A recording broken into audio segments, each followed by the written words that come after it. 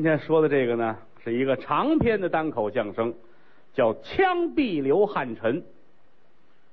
那么说这是真事儿还是假的呢？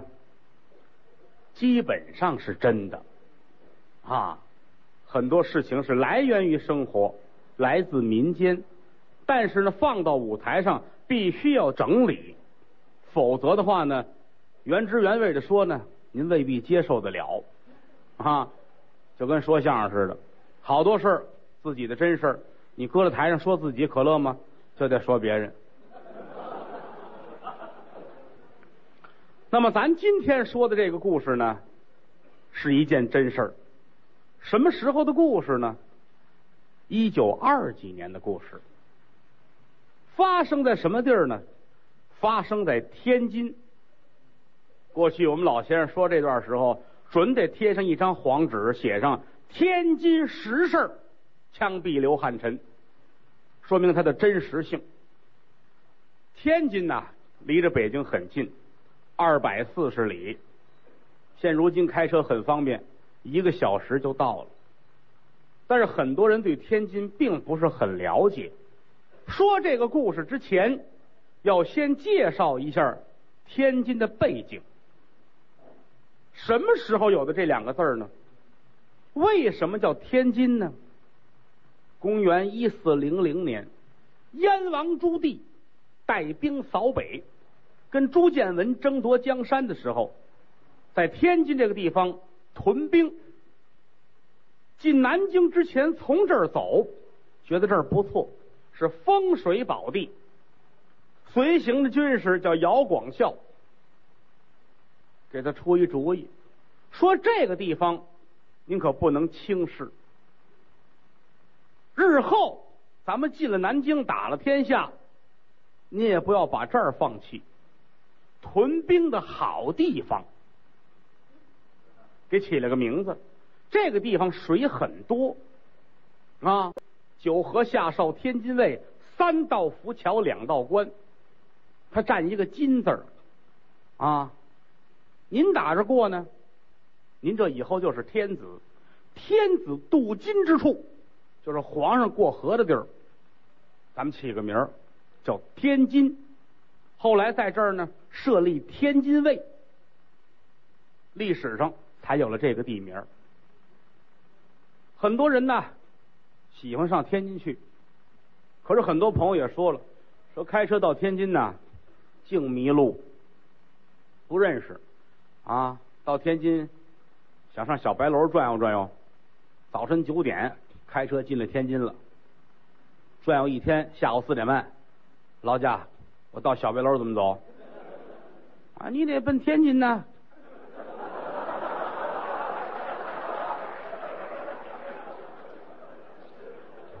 那这儿是哪儿啊？沧州啊。为什么天津不好走啊？北京城，天子脚下皇城，正东正西正南正北，只要方向对了，这胡同这大街你没来过，你能走。天津不行，这个城市是随着河的弯度走的啊！你非认准了，我不管那个，我就奔正东走，那你得水性好，要不然非淹死不可。啊，天津的特色，在这个天津呢，有一个桥叫做金刚桥。现在有趣的朋友还认识，金刚桥下叫三岔河口，南运河、北运河、子牙河三条河并排流淌在这儿，形成这么一个三岔河口，这是天津标志性的地方。过去来说，就这个河面上。三股河水并排流淌，颜色不一样，有深有浅，有清有浊，不一样，不一样是不一样。三股河水挨着，各走各的，不混颜色，很神奇呀！这都是高科技的东西。为什么会这样呢？据传说啊，在水下有一口分水宝剑。分水剑，这口剑在河底下把三股河切开了。这是天津的父老乡亲们互相传颂的一件事情。那么说谁发现的呢？哎，想当初，据说来了一位南方人到这儿来憋宝，在过去来说，经常有这个啊，老百姓爱说说南蛮子憋宝。过去来说吧，南方人把北方人叫北垮子，北方人管南方人叫南蛮子，南蛮北垮呗，反正谁不吃亏啊。天津过去净传说这个，说这个南方人呐，好多地儿出这个奇人，这个眼睛很毒，拿眼一打就知道什么东西不是普通的玩意儿啊。比如说俩话筒跟这站着了，啊，来一南蛮子一瞧。这俩啊，这个出音儿，那个不出音儿，因为那后边没站着人啊，那能成宝贝，拿家去修炼去啊，或者撅开了里边有金子，反正眼光很毒。天津这种事儿很多，你像过去天津这个南门外有一个剃头棚，那阵来说没有什么理发馆什么的，就弄一小棚子，做点水，来人跟这儿剃头。也不吆喝，也没法吆喝，啊，从来没见过剃头棚吆喝。站在门口掐着刀，哪位剃头？倒快水热一涂了一个，没有，全凭什么呀？嘴是肉告示，上这儿来的人多了，哎，这师傅剃的好，人就多。可这家剃头棚与众不同，手艺其实挺一般，但是生意特别的好。后来来了这么一位。憋宝的南蛮子啊，一进这剃头棚就瞧见了，迎面墙上挂着一幅画，很普通的一张画，画上有这么一匹马，拿眼一打了不得，这匹马是宝贝，这张画能鼓了，这是早年间的话，能鼓了，什么叫鼓了呢？就是能活了，别人看不出来，非他看得出来。半夜不睡觉，蹲在门口蹲着，啊，后半夜有打这草棚子里边，儿出了一匹马，呱嗒呱嗒呱头里跑啊，这主在后边跟着，跟出二里地，这匹马跑到草地上吃草去，吃完又跑回来，又进这剃头棚，这主一跺脚，这是古画，这个东西了不得，我要把这个宝贝憋来，转天来了，跟掌柜的说。哎，我要买你这画掌柜的说这不能卖，这是我们家祖传的宝贝啊！啊，多少年的东西哪能轻易卖呀？不给啊，死说活说也不给。最后心说那得了，我要得不着，谁也得不着。那我瞧瞧您这画吧，您这画有毛病。说哪有毛病？说你这马呀，有一只眼是瞎的，拿手一指，噗，把这马眼杵瞎了，画上一窟窿。掌柜的一瞧，呀，真瞎了。你挂好几年我都没看见啊，这怎么话说？那得了，还挂着吧。打这起，生意是一天不如一天。哎，这就叫南蛮子别宝。三岔河口以下这口分水宝剑，就是这位南方的高人瞧出来的。站在河边一瞧啊，为什么三股河水并排而淌，其中谁也不碍谁的事儿？这底下有一口分水剑。我如果说把这口分水剑憋到手，从今以后我还了得吗？嗯，太好了，找人帮忙吧。就在三岔河口这儿找了一个渔民，每天划着小船跟这儿打鱼，哗一网下去了，大鲤鱼，哗一网下去，虾，哗豆豉鲮鱼啊啊，油麦菜啊，咱就说这意思吧。找了他一天多少钱？和一天挣不少钱了啊！呃，天天打鱼卖鱼。你这样吧，我用你一晚上，哈，用你这船，用你这人，给你多少多少钱？给你这笔钱够你一年挑费。那渔民很高兴，来吧，正好是八月十五夜里边，俩人划船来到河当间说您用我干什么呀？没事儿，很简单，你甭管了，你就坐在船上坐着。这不到河中心了吗？我跳下去，渔民吓坏了。你这是冤枉我呀，为了啊！我把你送到这儿自杀的，你们家人告我受得了吗？嗯，没有，我下去，我找东西。一会儿上来，你笨呢，我借你那网，我一网下去什么都有。而你那网不管用，非得我自己下去。我这儿啊有几样东西给你，你可别害怕。拿过来一瞧啊，拿纸糊的小旗子小三角旗，有这么根棍儿，颜色不一样，有红的，有白的，有黑的，有紫的，有蓝的，五光十色，都堆在船舱里边了。说我下去之后，一会儿功夫水底下上来手，什么颜色的手，你就往手里边啊递一个什么颜色的小旗子，你可千万别害怕，都递完了。我就上来了，啊，完事我加倍的给你钱。好，那行，来吧，快去下去吧，下去吧。咕咚一下子下去了，啊，等着吧，等半天没动静。于民心说：“这是怎么了？这是，这是个疯子呀！我怎么听他的话呀？要我划船回去，我走了他上来怎么办呢？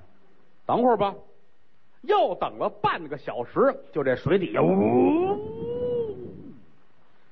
就看这水来回的倒腾，紧跟着噗，出了一只手，啊，和咱普通人手一样大，红颜色的，啊，一只红手，手伸上来，冲着渔民的方向指了指，那意思快给我！渔民吓坏了，我的天哪，手破了这是啊！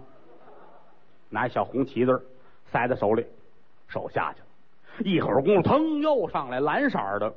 比刚才个儿大，跟脸盆似的，这么大一大蓝手，渔民这心就哆嗦成一个了。这太神奇了啊！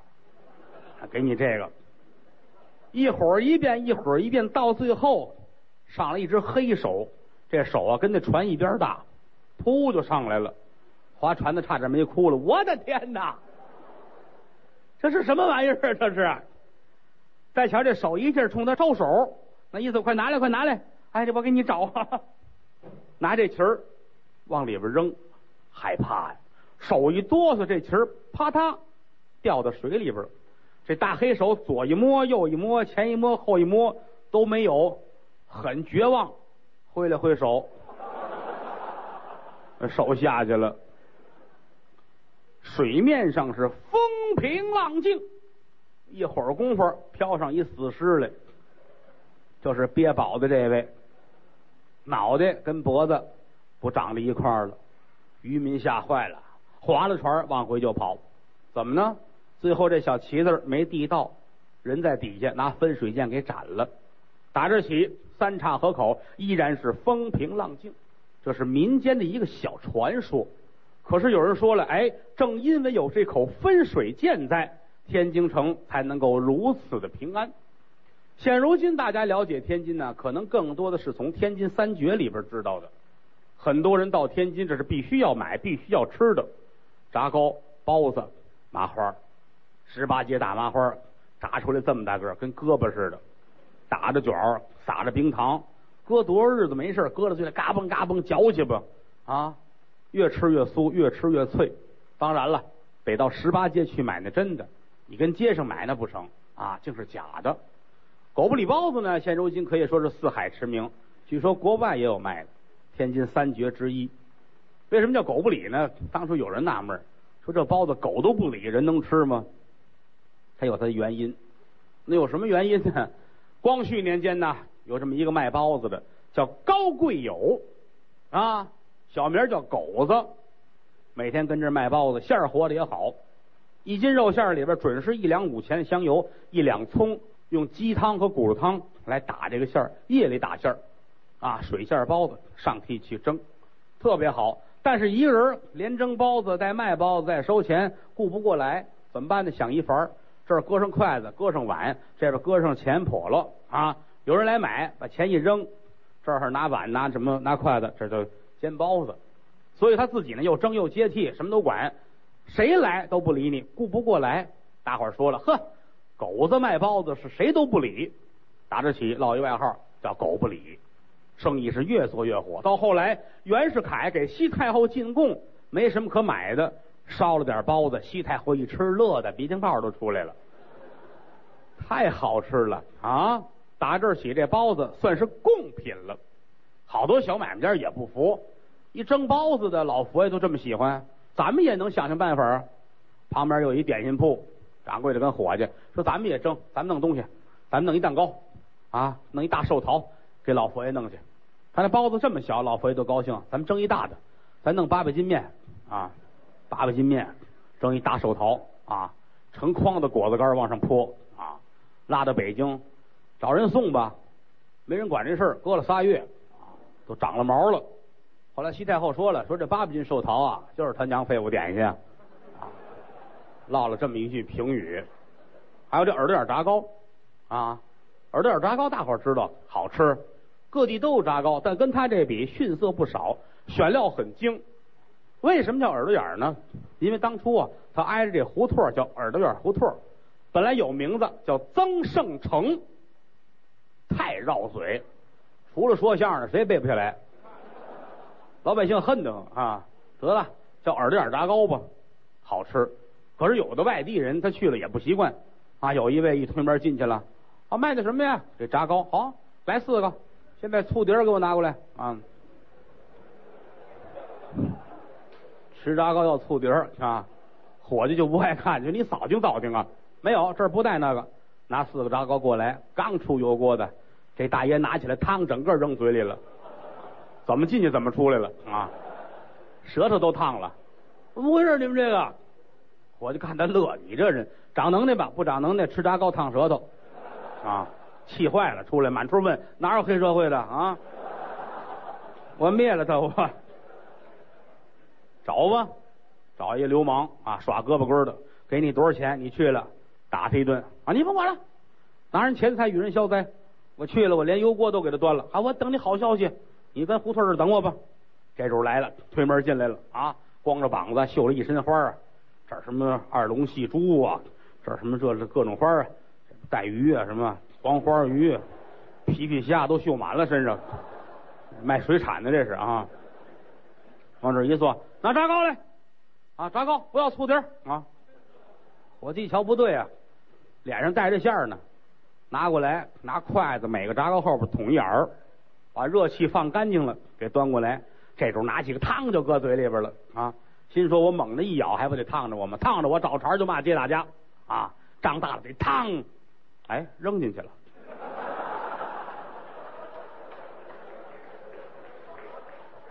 嗓子眼也太憨点了。又拿筷子煎了一个，慢慢的咬了一口。这口一咬啊，哎呦，就觉着甜丝丝、凉丝丝、油汪汪，还不腻，太好吃了。好，来，再给我续一百个啊！”一人吃了三袋面啊，吃饱了出来了，那还等着了，怎么样？油锅踹了吗？呵，哎呵，长能耐去吧啊！不长能耐吃炸糕烫的，哎呀！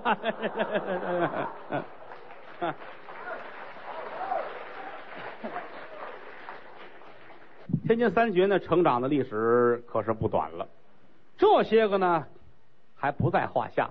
更多的是天津民间流传着很多故事，现如今说起来，大伙儿觉得可能会很有意思啊。比如说今天咱们讲的这个故事，枪毙刘汉臣。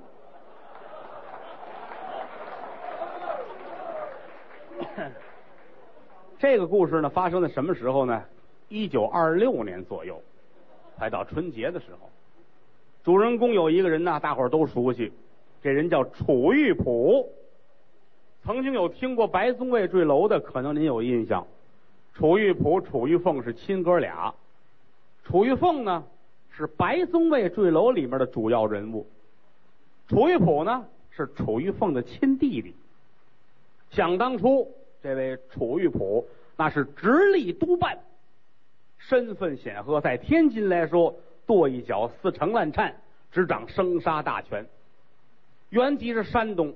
山东汶上的人，小的时候家里很苦，父亲早年去世，仨孩子，楚玉凤头大，楚玉璞行三，二哥早年去世，俩小子跟着母亲过日子，这日子过得是越来越苦，家里穷的没辙了。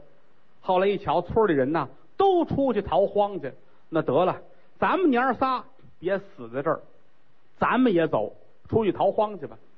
临走之前，楚玉璞到村子里有一个永安寺，到这儿来上香，说菩萨呀，你保佑我们，我们娘仨呀出去逃荒去。日后如果说我们混出样来，我小子还得回来重修庙宇，再塑金身。磕了仨头，娘仨离开了原籍。到后来，他得了势了之后，还真回到家乡，又重修了永安寺，那是后话。娘仨出来之后，到哪儿啊？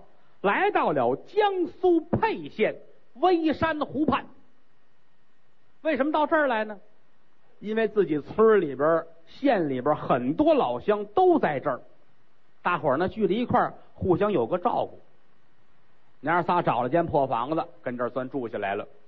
纸河为业呢，湖边上有点荒田，大伙儿跟这儿开荒种地。俩小子有力气，天天呢种个菜呀，弄个庄稼什么的。可是好景不长，这个地方呢也算是一个三不管的地方。官兵的势力够不到，所以当地有很多的土匪，啊，可能你这刚收了庄稼了，刚打好了啊，弄口子装得了，打那边呼噜呼噜呼噜呼噜来八十个土匪，一瞧都打上包了，好，谢谢啊，谢谢，嗯，我们车都拉走了，你敢说别的，薅住了，叮咣五四就打一顿，啊，重一重把腿就打残了，很多人都吃这种亏，一而再，再而三。这天，楚玉普跟他母亲商量。说娘啊娘啊，我看出来了，这个种地不是个好营生啊，我找着新的工作了。哦，孩子，你能干什么呀？我也当土匪吧。我觉得我和我哥哥有这个潜力啊。啊，这个买卖可是不错。哎呦，孩子，啊你别胡说呀，那是犯王法的。又何况你们哥俩身单势孤，哪干了这个？你问问街坊那哥几个干吗？啊？啊？多亏老太太教导他们，要不然哥俩就犯一大错误啊！出了一扫听，三哥五舅二大爷，你们都干吧？大伙一听太好了啊！来吧，咱们大伙一块儿吧啊！看看看看，咱都有什么武器呀？啊！大伙一看啊，大棍子三十来颗啊，有铁锹，有锄头，什么都有。行了，来吧，开始吧！土匪再来，他们大伙团结一致，跟土匪打。哎，也打过几回胜仗，赢了之后呢，把土匪扔的马呀、留下的枪啊，全拿起来，逐渐的就武装起来。在这个时候，据资料记载，楚玉璞对自己手下的土匪们有几条规定：第一，同乡不许害；第二，孤苦伶仃的不许害；第三，咱们也可以绑票，也可以去绑架人质，但是不要侮辱别人的人格。破产的事儿不让人家干，由于这几条，他在土匪里边声誉非常的好，很多人都愿意跟他干，啊，说这个人仁义啊。事隔不久，有一件大事让楚玉璞露了脸了，在当地来说，有一个最有名的大土匪头子姓刘，啊，刘大土匪，一招失算，让官府逮起来了。马上就要问斩，楚玉璞一琢磨，这不成啊啊！我们都是同行啊，我们得帮助他呀，我们要劫牢反狱，把他抢出来。这样话，在当地我们可以邀买人心，想的很好，带着很多人都安排好了，呼啦超一下都奔县衙门去了啊！抢，到那嘁哩咔嚓把人就抢出来了。哎呦，大伙都佩服他啊！被抢出来这主啊，眼泪都下来了啊！说你为什么要把我从县衙抢出来？啊，我是为了救你啊，我是帮助你。可你没问清楚吗？我是县官啊！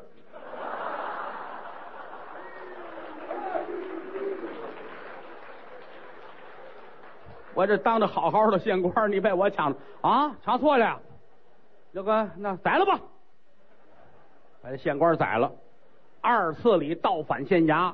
把这土匪头子弄出来了，哎呀，土匪头子感动坏了，谢谢你们，谢谢你们啊！实指望我就活不了了，没想到你们把我救出来了。可是现如今说句良心话，我也不会再有什么作为。我的这些个手下的弟兄们，连人带马带这些个兵器，完完全全都归你了。只求一件呐，啊，我的儿子日后你来照管。楚玉璞很难过，您不能这样说，我们愿意归降您，您怎么能托孤呢？啊，那不行，我就得呃这样交代啊！你没看吗？我一进县衙门，他们打的我两条腿都已经残了，我没有两条腿，我还有什么作为？尤其现在俩胳膊也打残了啊！我就是一肉轱辘呀！你说我还能干点什么事儿？没有别的啊，把我送到一个地方让我养老，我的儿子跟着你。这么着，楚玉璞带起自己的第一批人马，到后来几经辗转，到张宗昌的手下做了这么一个连长，啊，身份是越来越显赫，一直到后来直奉战争之后，他的身份成为了副军长。最大的特点，他会邀买人心。有一次啊，坐着火车到徐州前线上去给士兵们讲话，路过滁县的时候。说这儿也有您的弟兄们，您下来瞧瞧吧。好嘞，一下火车一瞧啊，士兵们都站好了，等着他讲话。刚要说话，天降大雨，有这么一个小兵，啪，把伞打开了，给他遮着啊，拿手一拨了开，不用啊？难道说大雨就淋我一个人吗？难道说这些个弟兄们就不用吗？站在雨中给大伙讲话，讲了一个多小时。哎呦，这些弟兄们感动啊，嗯，了不得呀！仁义呀，其实呢，这是邀买人心啊！讲完话了，大伙儿一致热烈的鼓掌，他这才转身上了火车啊，告诉一声往回开，感冒了我。这个人呢，还有一最大特点，重用乡里。为什么要重用乡里呢？自从他做了官之后，凡是以前对他有恩的人，基本上都得到重用。比如说，小的时候他跟村里边打架。啊！把人打了之后，他跑，结果呢，躲在一个小学校长的家里边，人家把他藏起来了。到后来，他做了直隶督办之后，这个校长被派到了清源县做县长，报当初的恩。这主啊，可以这么说，有这么几样不知道的：第一，多少兵他不知道；啊，第二呢，有多少钱不知道；第三，有多少媳妇儿不知道，没数了。只要到一个地儿一瞧，哎，这个小妮儿长得可漂亮啊，这就拉过来拜堂成亲，这就是他媳妇儿。从这一走，可能这媳妇儿就扔了，就不要了。所以说，媳妇有多少，自己都没准数啊。军中呢，也没有专门负责统计的，所以这成为历史上一个谜啊。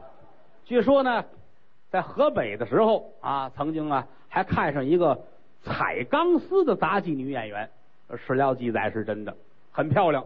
当时有一个盛大的什么宴会，宴会上有人给准备了各种的什么这个演出的。他一瞧，呵，你看这个小娘们了不得，嗯，她能在那个钢丝上那么走啊，这点比我强啊，我上去非掉下来不可啊，我娶了她吧，叫起来，姓什么呀？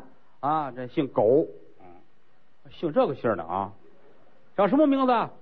叫薛芳，哦，狗薛芳，行了，别走了啊，留下吧。咱们是两口子了啊，哪儿就两口子了就啊，就留下来了。两个人呢就在一块儿住，没两天，哎，狗学芳跟他说了，你看咱俩人都两口子了，给我弟弟找点事儿干吧。哦，你弟弟叫什么呀？叫学人。哦，狗学人啊，那玩意儿学的会吗？然后这臭缺德的，咱说这话，你给我弟弟找点事干，你把他找来吧。啊，找来了，往这一站，瞧这模样，狗里狗气的啊。啊，你这个名起的挺好啊，跟这个人很相似啊。你能当什么呀？嗯，我别的也不会，我我当个官吧，当个司令什么的，那是不可能的，我还没当呢啊。你这样吧，你先当个班长吧，从班长一点一点的往上熬你就行了啊。行，给送到下边当一班长，什么都不会，纨绔子弟啊。来到这儿一瞧，这屋里都站好了，几个大头兵啊，这儿一副班长，来来来。班长讲话吧，啊，狗学人往这一站，弟兄们，从今儿起咱们就是一家人了。我也不是班长，他也不是副班长，你们也不是士兵啊。从现在开始，咱们是亲戚。呼，这几个兵高兴啊，亲戚啊，一家人呢。是，谢谢您。打今儿起，我就是你们的爹啊。一直这副班长，他是你们的娘。一直大伙儿，你们都是我的儿啊。副班长听什么乱七八糟的？一弄嘴抽他，一上来呼噜呼噜呼噜，大伙儿都打啊，正打着呢，又打外边楚玉普来了，怎么呢？这也算小舅子？这这瞧瞧怎么回事啊？来到门口，听屋里正叫唤呢，出来一兵，啊，这一敬礼啊，没事没事，屋里怎么去了？怎么这么热闹啊？呃，没事有点家务事啊。什么家务事啊我进去看看。不不，您不能看，您不能看，您不能，我怎么就不能进去？啊什么事啊？那个我娘带着我兄弟们打我爹呢，正。就这么一个主啊，糊里糊涂。他在天津的时候呢，做直隶督办，好，这权力可大了，生杀大权，想让谁死谁得死，想让谁活谁能活，瞧谁不顺眼，嘡一枪就打死，草菅人命是无法无天。当时呢，正好是一九二六年的年底，天津城快过年了，街上到处啊，呃，喜气洋洋。而且那会儿来说，像南市三不管一带啊，歌馆楼台，呃，灯红酒绿，大饭庄子，什么戏园子呀，特别的热闹。每天晚上出来玩的人特别的多啊。这儿有听大鼓的，这儿有听相声的啊，这儿有听书的，哎，这儿呢有听戏的。当时呢有很多的大园子，但是这天晚上发生在新民大戏院这件事情，可以说值得记载下来。新明大戏院呢，现如今叫人民剧场，最早叫夏天仙，那会儿叫新明，掌柜的叫赵广顺。赵掌柜的这几天特别的高兴，为什么呢？有打江南刚接了一位旗派文武老生，叫刘汉臣，跟这儿唱戏。园子里边关了铁门了。什么叫关铁门呢？卖的满座了，楼上楼下连家座都满了，就跟咱们今天这意思似的啊。你来晚了，你进不来，没地儿坐。新明大戏院楼上楼下卖个满堂。这位刘汉臣能耐太大了，文武老生，而且京呼拉的也好，台上还能自拉自唱。谁徒弟呢？麒麟童周信芳先生的高祖，那是了不得呀！旗派的创始人周信芳先生，那是真正的表演艺术家，而且来说，在舞台上来讲，角儿腕儿。艺术家这三者都是不容易做到的，而且这三者不是一回事儿啊！有人说了，角儿就是腕儿，腕儿就是艺术家，这不对，三者各不相同。最简单一点的可能是腕儿，为什么呢？腕儿啊，过去这是江湖黑话啊，江湖上的隐语，现如今用不着了。现如今有时一说大腕儿，哎，什么意思呢？腕儿指的是名气。大腕儿有大的名气，这个简单。名气未必是舞台上得来的，可以用别的方法得来。但是在舞台上，腕儿不代表着能耐，角儿代表的是能耐。什么叫角儿？舞台上的中坚力量，有他撑起半个场子来，观众来冲他看的。过去来说，哎，咱们听马连良去吧，啊，咱们听程砚秋去，听荀慧生去，说相声也是啊，咱们去看马三立去。其实马三立那团里边好角多了，这是实话。为什么呢？角儿不容易得。至于到艺术家，那就更了不得了。必须在本行业有建树，有自己的贡献，特殊的能耐。中国相声界到现在为止，比如说我们整个全中国说相声归拢包堆儿，大伙儿最后一过箩一筛，哎，能选出俩艺术家来，那说明这个行业就了不得了。你趁俩艺术家还要了得，大师几乎就没有。知道吗？现在当然简单了，是吧？艺术家就自个儿就能叫，是吧？你觉得现在来说就无所谓，你爱怎么称呼怎么称呼。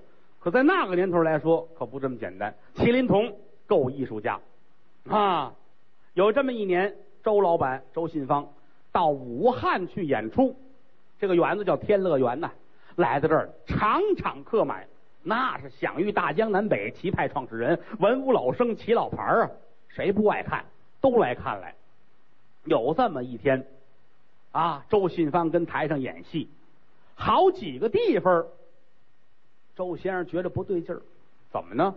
他的表演不同于关中大陆的表演，演员们都一块儿学，都这么唱，唯独他自己很多地方有独特的表演。为什么自成一派呢？跟别人不一样。可是，在上海，大伙儿对这些个很熟悉了。到了武汉，有的观众还不熟悉，人的名儿树的影没看过。知道有个麒麟童有多大能耐没瞧过？咱们瞧瞧去吧。我一瞧，哦，好，真好。说具体怎么好，未必琢磨这么透。所以很多好的地儿没人叫好。麒麟童心里边咯噔一下子，哎呀，武汉呐，戏迷们应该是内行，这几个地方为什么他们闹不清楚？一个叫好的都没有呢，心里很别扭。可就在这会儿，就觉得台口以下有个小孩儿，好，他喊了声好。麒麟童在台上拿眼一扫，溜着边那柱子旁边站着一小孩十二三岁，大眼睛，很精神，都不叫好，他叫好，而且每逢这个节骨眼就是他喊。周信芳心里咯噔一下子，难道说这孩子他懂吗？不由自主的对他就多了几分印象。连演了很多天，每天这孩子都来，都上这儿喊好来。麒麟童散了戏，跟后台人说：“给我找那孩子，找这叫好的孩子。”大伙儿还劝着：“嗨，别跟小孩一边见识啊！” 你不知道，您知道吗？你们知道什么呀？你们这都是啊？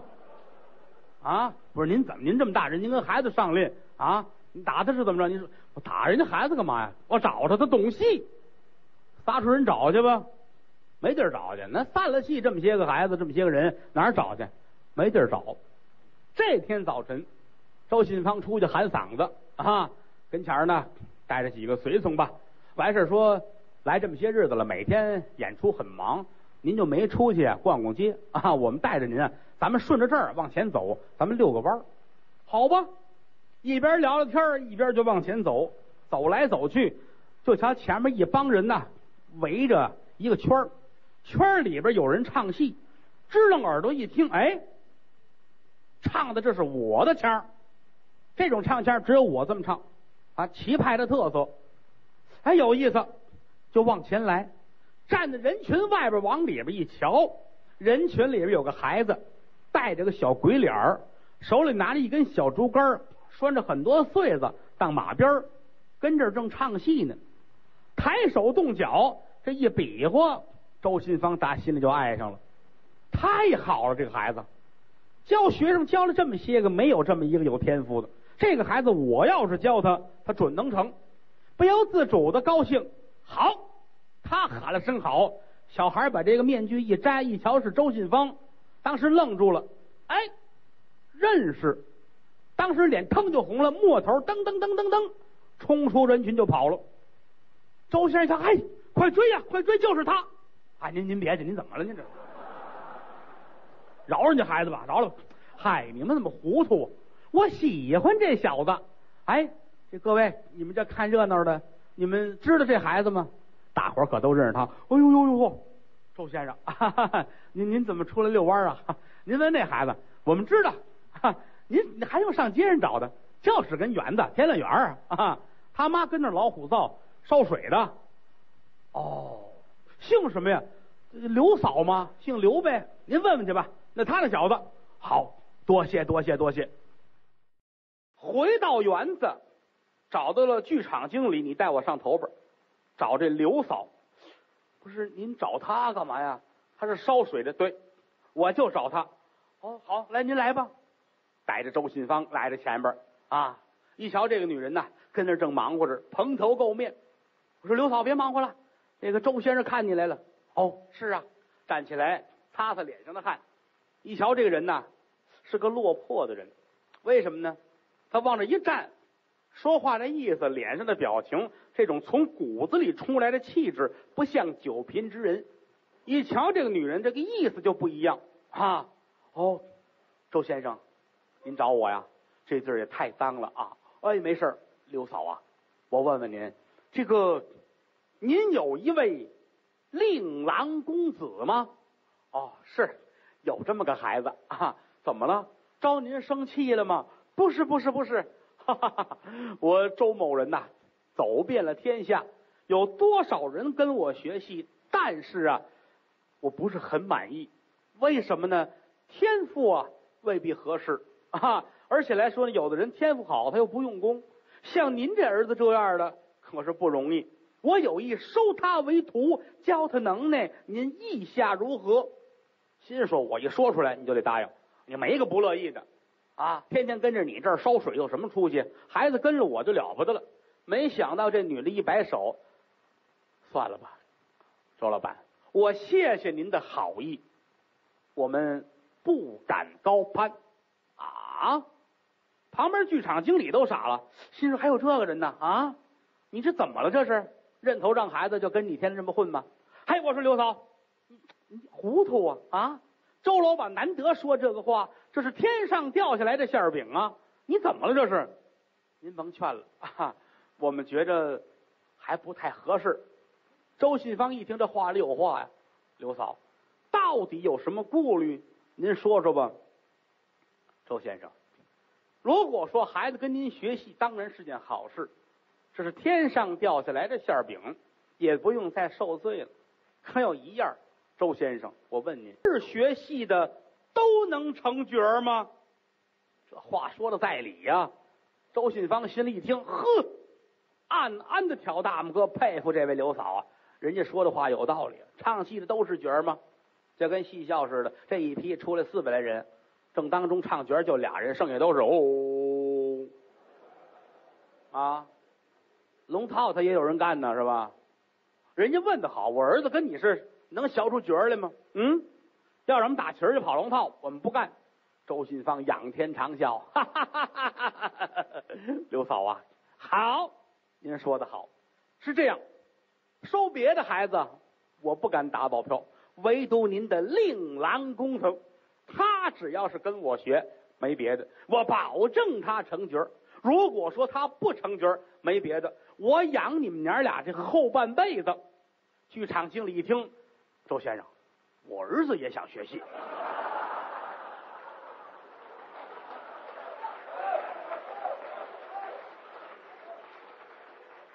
你去忙吧，去忙吧，去吧，去吧，去吧。刘嫂，你看咱这事儿呢，啊，周先生，您这话当真？不错，我周信芳顶天立地的汉子，我说了就算。好，您等着。这女人出去一会儿功夫，被儿子找回来，就是刚才唱戏那小子啊，站在这儿大眼流睛看着周信芳，过来拿手一拍这脑袋，小子。你真是个好材料！刘嫂拿手一扶儿子跪下，给你师傅磕头。小孩跪在地下，当当当磕了仨响头，站起来。您是要教我学唱戏吗？是啊，孩子，你愿意学吗？我愿意学。好，经理啊，从今天开始，你这样吧，你每个月给刘嫂啊开固定的钱，我来提供这笔费用，孩子就跟着我，其他的事儿你就甭管了。那我呢，少爷，再见，再见，再见。由打这天开始，小刘汉臣就是这个孩子，父亲早年去世啊，呃，留下他和他母亲两个人过日子，名字叫汉臣。打这儿起，跟着麒麟童，每天呢伺候着上场，伺候着下场，啊，忙活着一切。可有一样啊，后台的人纳闷就这孩子跟着齐老板。出来进去，跑跑颠颠，可怎么没听过周先生教他呀？啊，这行都这样啊！这一教到哪儿，早上起来去喊嗓子去，去唱去背去。可是这孩子听不见，也瞧不见同着大伙周信芳说的：“哎，把那唱一遍，来，有弦过来调一调。”没有，没有过，而且这一下就是八年，八年之内都没听这孩子唱过一句。也没瞧周先生给人孩子说过一句，戏班里这风言风语就起来了。这周先生这怎么了？这是啊，这么好的人也干糊涂事儿。说句良心话，这孩子他妈不是这么好看，知道吗？真的，什么都不如同行之间说这话坑人，最缺德了，知道吗？你瞧他瞧出什么了？这是。你瞧那女的长得脏不呵呵的，周先生怎么了？嗨，你哪知道这个呀？周先生大老板，什么顺眼的没见过，他不得解解腻吗？啊，是不是？反正这废话就不够他们大伙说的。这一天，剧团演出，头演出之前，周先生闹嗓子。听过齐派唱腔的，您都知道，知道什么呢？秦先生的嗓子很嘶哑，这是当初年轻的时候长期演出累的，把嗓子累坏了。按说嗓子这样的人干不了这行，可是人家周先生高就高在这儿了。别瞧嗓子不好，越这样我越得唱，而且要唱出跟别人不一样的来，这才创造出旗派唱腔。可是到这会儿啊，感冒发烧要排连台本戏，天天要跟弄布景，指挥大伙做服装，一累啊，累得过分了，嗓子是一字不出。他着急，后台着急，前台也着急。为什么呢？水牌子贴出去了，麒麟童今天晚上全部的红鬃烈马，由打彩楼配那开始啊，唱全了，大红鬃烈马。买票的冲着麒麟童来的，看吧，啊！可是嗓子哑了，怎么办？说吃药，弄一松花搅碎了，开水打开了喝，都不管用。麒麟童玩命的琢磨：这嗓子怎么了？难道说有人陷害我啊？过去来说，这个跟包的印场的都很主要，尤其唱戏的，这角后都跟一个端着壶的。为什么呢？这把壶轻易的不能撒手啊！你知道谁暗害你啊？掰块马掌搁里边泡着啊，嗓子就回去了。过去还有这个说白马汗，大白马一出汗，拿铜钱从马身上刮下来，搁在茶壶里喝吧。喝完就不出音了啊！反正种种方法都有迫害你的。那么说我没有我的跟包的印厂的一时一刻没离开我，我没吃别的东西，嗓子怎么回事？真着急呀！嗯，尤其前台这经理跟后台管事围着周先生来回转悠，怎么办？票卖满了，嗯，这么些观众，到时你要说回戏，今天晚上不演，让大伙儿退票，观众一着急，能把园子砸了。怎么办呢？啊，这不要了命了吗？戏班里就有这个跟周先生不对付的，您瞧这怎么办呢？啊，那怎么办呢？贴出去了，写老牌人家是冲您来的，我们大伙是指着您吃啊。嗯，您得赏饭呢。你这个碎催的话，这个片汤的废话啊，越这么说，周信芳心里越起火，怎么办？正没辙呢，一旁边刘汉臣过来，师傅，我替您唱吧。周信芳抡圆了之后，啪，就这大嘴巴打的刘汉臣呢，啊，转了俩圈一捂脸，觉得这脸都木了。周先生这嘴巴打的不是徒弟，打的是同行同业这些个说话不像人的人呢。怎么呢？恼恨你们火上加油啊！拿手一指徒弟，你才多大呀？你啊！你敢接这个科，出狼言吐大话啊！你不知道自己的饭量吗？这一生气，两旁边更高兴了，太好了啊！哎，您别这样，这孩子不错，哈哈！你别瞧这么些年没听他唱过，我觉得错不了，哈哈！啊，来吧，来吧，让他来吧啊！错不了，给他办戏，给他办戏啊！下午三点给孩子办戏，就说人们多坏。旁边后台有管事的，现在讲话就是后台的负责人汉臣呐。我跟你说啊，这个事情关系重大，你到底是不是真有把握，还是一时糊涂，疼师心切？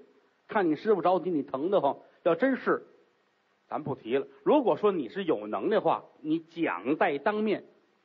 啊，先生，没有别的，我是不就是唱戏吗？我想替我师傅一场，您看行不行？大伙儿加了，行行行行行，你你错不了，你错不了，错不了。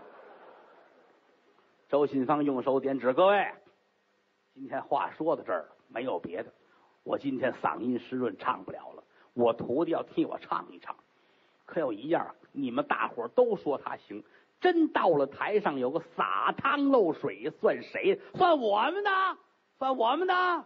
大伙儿一个架秧子啊！您甭管了，错不了。这孩子聪明是吧？别看这七八年没唱过，我认为他不错，知道吗？啊，让他来吧。管事的说：“孩子，你真行假行啊？您甭管了。如果是我砸了，抱着脑袋滚出梨园行，打这起，我再也不唱了。好吧，门口戳牌子啊。周信芳嗓音湿润，由弟子刘汉臣代言，不愿看前台退票。前台搁一账房桌子啊，谁不看谁这儿退票。当天晚上。后台比前台还热闹，大部分人等着瞧瞧什么呢？瞧这场热闹，倒要看一看刘汉臣水平如何。由打前面开始唱，别摇什么的，扎靠啊，后边蹬垫呐，换蟒啊，啊，从头到尾都唱全了，这叫大红鬃烈马，唱全部。周先生亲自给徒弟把着场子。开始的时候啊，好多观众说：“这你瞧，都来一趟，这会儿退票回去也没劲。咱们这样，咱们坐下先瞧瞧。如果说好，咱们就看；不好，咱们再退票，再起哄。好吧，坐这看吧。都坐这了啊。有打平贵别窑，就这一起罢，大伙儿傻了。这孩子太好了，而且是真冲！哎呦！园子里边都炸了，都四底儿的叫好的声音呢。好，武汉的观众懂戏呀，啊，喊的都是节骨眼上。周信芳心里高兴啊，哎，我徒弟比我强得多呀，啊，当初我唱的时候都没这样啊，不错。简短结说，这场戏算是唱起来了。哎呦，前后台每个人的心态不一样，有高兴的，有难过的，有别扭的。啊，别扭的是因为这孩子没砸，啊，喝闷酒，你说这没砸呢，这事闹的，不这样，世事难料着啊。嗯，反正什么人都有。转过天来啊，赶紧找大夫给麒麟童去看。有这么五六天，哎，嗓子又回来了，接着再贴，还是麒麟童唱，这孩子还是夹着包跑前跑后。可是剧场经理就发现一个事儿，很奇怪，自打换了周信芳，掉座了。原来卖一千，这回可能卖八百。哎，这怎么回事呢？连续好几天，别人有人不注意，周信芳心里明白。哦，我明白了，这是因为我徒弟唱的好，把观众的腮帮子勾上来了。既高兴啊，心里边呢，可多多少少的也有一点难受。为什么呢？徒弟师傅同场演出，如果说徒弟风头太盛的话，对师傅是一个打击。啊，所以说麒麟童先生呢，心里边多多少少呢也有点别扭。哎，这会儿功夫，刘打天津来了约角的了。天津新民大戏院派人来了，请周先生您到天津去演出，快到年根儿了啊！我去不了啊，我这边有合同，不要紧的，差多少钱我给您添上，请您到天津去唱去。啊，说这个真是不行啊！不过你要是玩了命的，非让我去呢，我倒有一个办法。我有个徒弟唱的不错，让我徒弟替我去到天津唱一个月。哎呀，约角儿一听这直嘬牙花子，你这玩意儿，我们请的是周信芳啊，谁知道哪一个叫刘汉臣呢？嗯，您说的不错，您是他师傅，你夸他呀。真把他叫到天津唱砸了怎么办呢？哎，这样吧，管事的，嗯，我安排他唱几天，你呢连看几天。把他的戏瞧一遍，瞧完之后你心里踏实了，你带他走。如果说不行，咱们再想办法。好吧，出水牌子，出刘汉臣的戏啊，连出了四五天。管事的来到后台，告诉周先生：“先生，座儿上来了。”是啊，卖一千多啊。好，我的徒弟。有出息，嗯，照顾人家天津约角的吧，让人家看吧。简短结说，连看了多少天啊？最后一天看完戏，散了场之后，找一大饭店，摆好了酒菜，对面一坐，怎么样？觉得我徒弟怎么样？哎，什么也别说了，周先生，希望下次您有机会再去啊。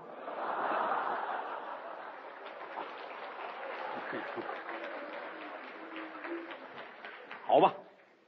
这么说，咱们这事儿算是定死了。好，明天吧，明天到我住的那个呃那房间那儿去，咱把这事说一说。好，转过天来，把戏班里所有的人，这些德高望重的老先生们都请到了一起，往这儿一坐。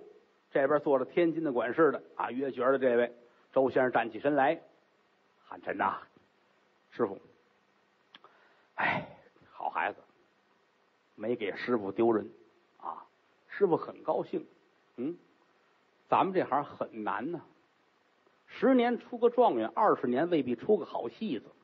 像你这样文武带打，哪儿都好的师傅我没见过。你肯定能够大红大紫，这次天津约你，师傅给你谈的，这不吗？约觉的在这儿了。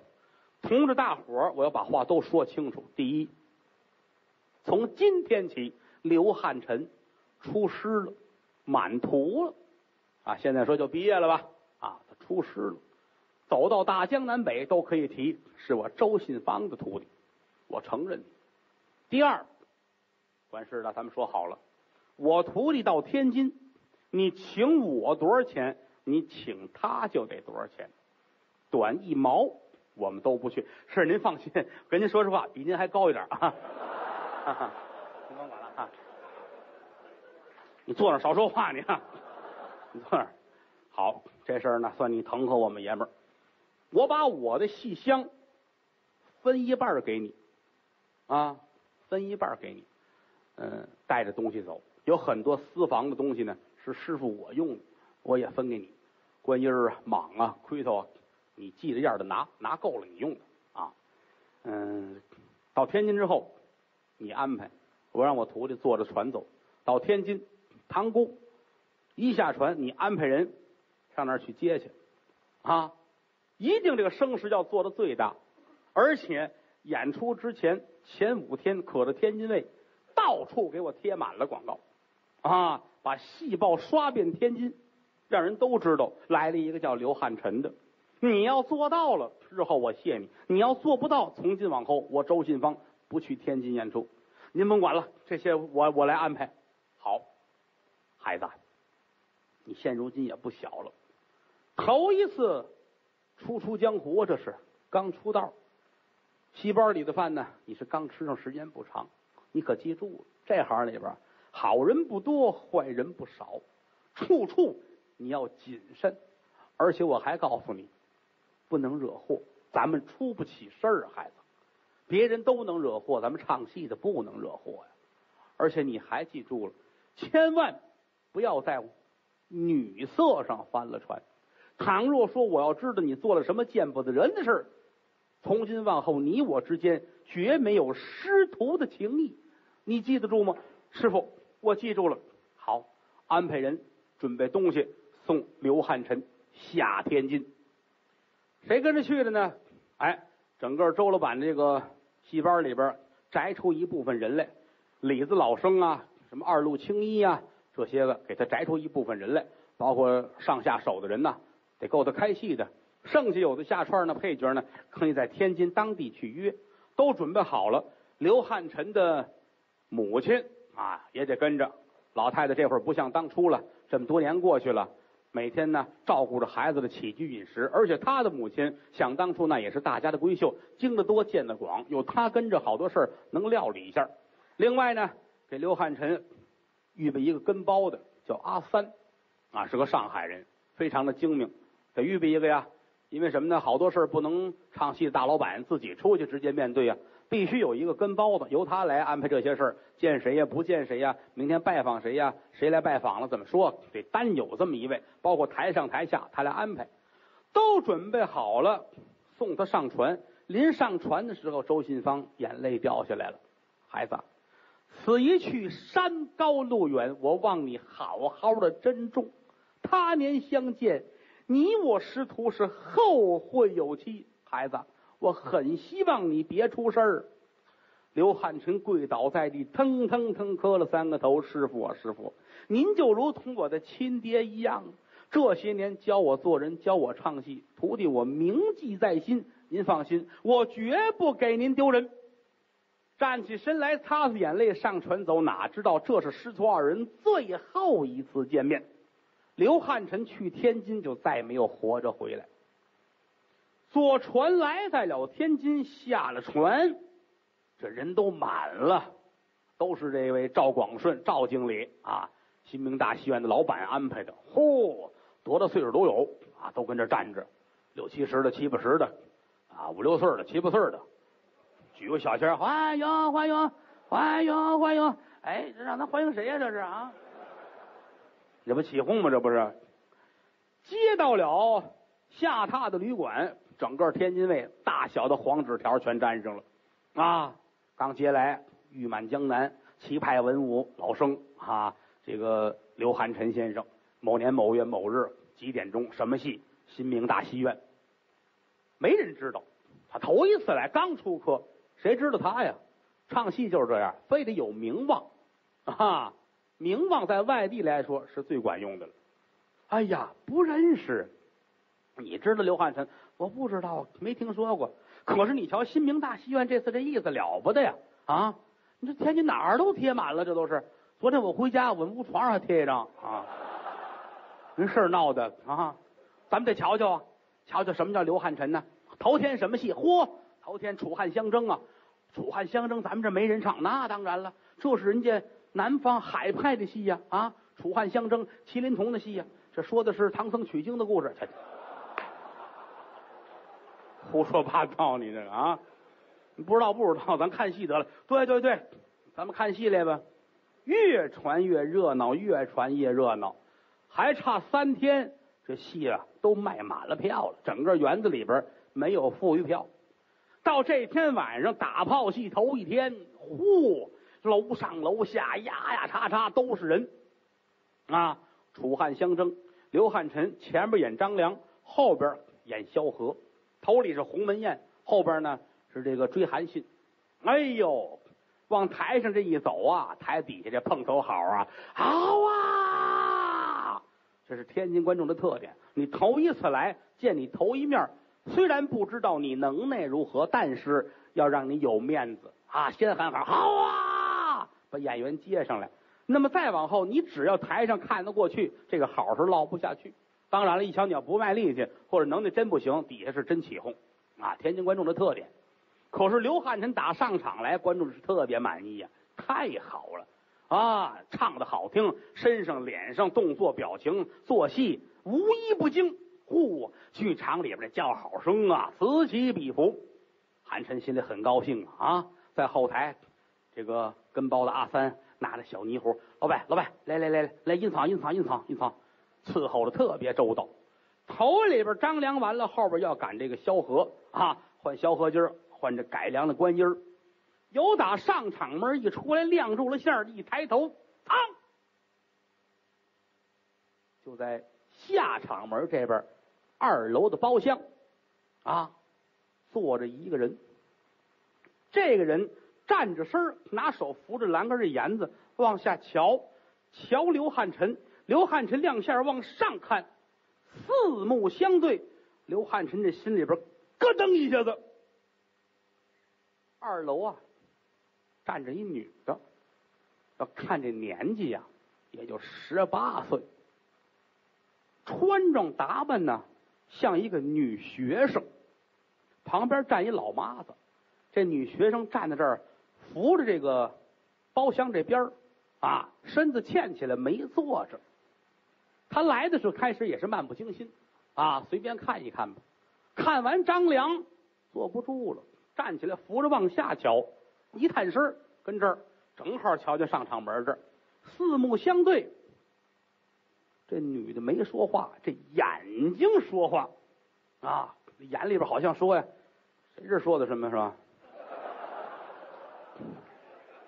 反正眼会说话，汉臣就觉得咯噔一下子。你别瞧也二十来岁的人了，没接触过女性，为什么呢？师傅看得紧，天天除了唱戏就唱戏，回去呢妈又看得紧，啊，没在外边说接触过、交过朋友啊、搞个对象没有。可是啊，这么一亮相，一眼瞧见了，心口窝觉着慌得很，心噔噔跳。为什么呀？太好看了。你看有的时候，您瞧这女的啊，这抹了一脸粉哈。早晨起来来四斤粉一葫芦，画眉毛画眼画画口红是吧？觉着挺好，倒不如什么都不画。哎，这个女的什么都没画，博士之粉淡扫蛾眉，穿一身学生的衣服，好像一个大家闺秀，家里很有钱，带着老妈子出来看戏来啊。心一慌，可是马上又镇静下来。为什么呢？还唱着戏呢，他唱他的，上面这主站着一直瞧他。一直到追韩信这儿一出场，有一掉毛，啪一下子掉毛这飘啊，范儿起的也高，底下观众哗叫好声不断呢。这儿躺下了啊，有人过来往起一搀，再瞧二楼这女观众一伸手打手上摘下一钻戒来，拿过一块手绢包好了，系了一死疙瘩。啊！有人把刘汉臣刚扶起来，站起来要跟韩信说话，一抬头又打上边啪，把这手巾包扔下来了。那个年头兴这个呀，看着观众啊，一瞧演员这么卖力气，心里高兴，无法表达自己这种心情，这叫捧角儿。金戒指摘下来弄好了，啪，镯子，啪，啊，反正我这么些年是没遇见过呀。啊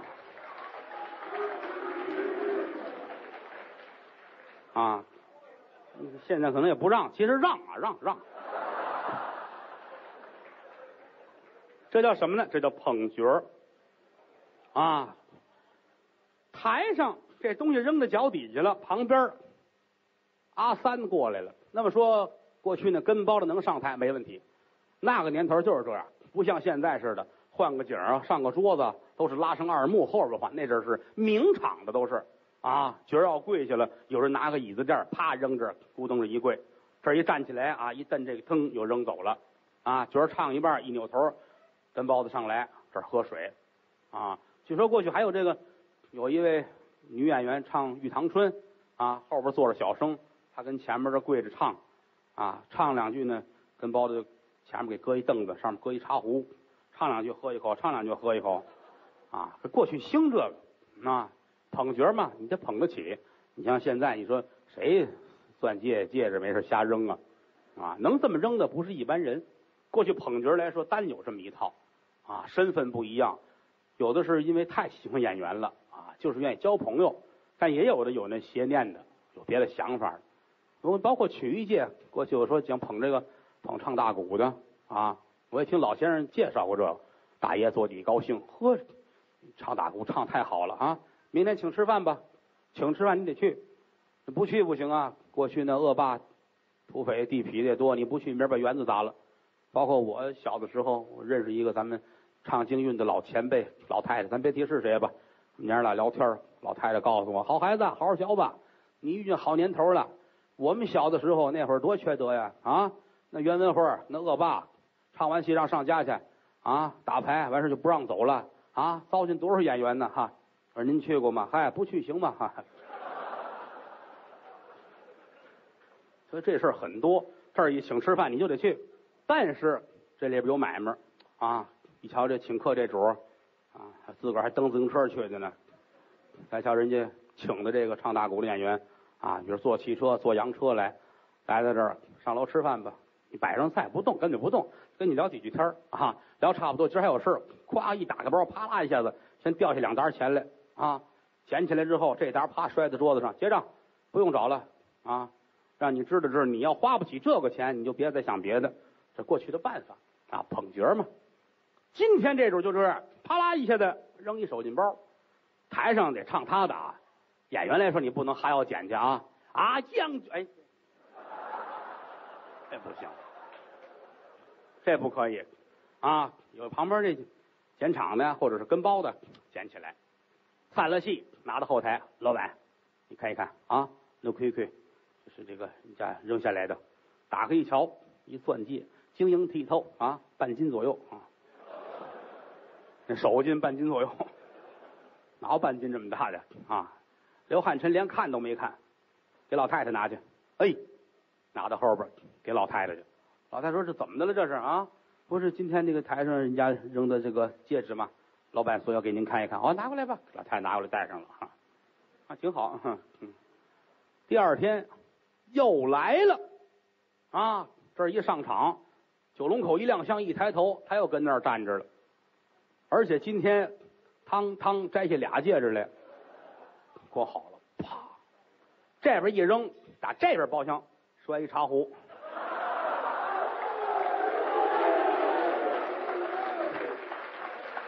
啊！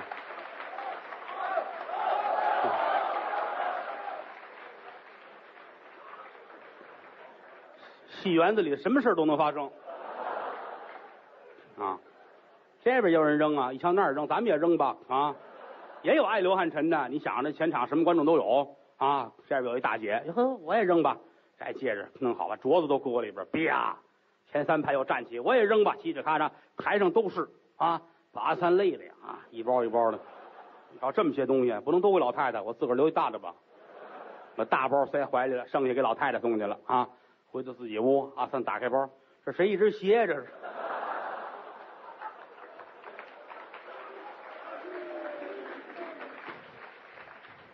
啊，简短截说，有打这儿连着十天，就这女的来的十天，往台上扔了十天的东西，不一样。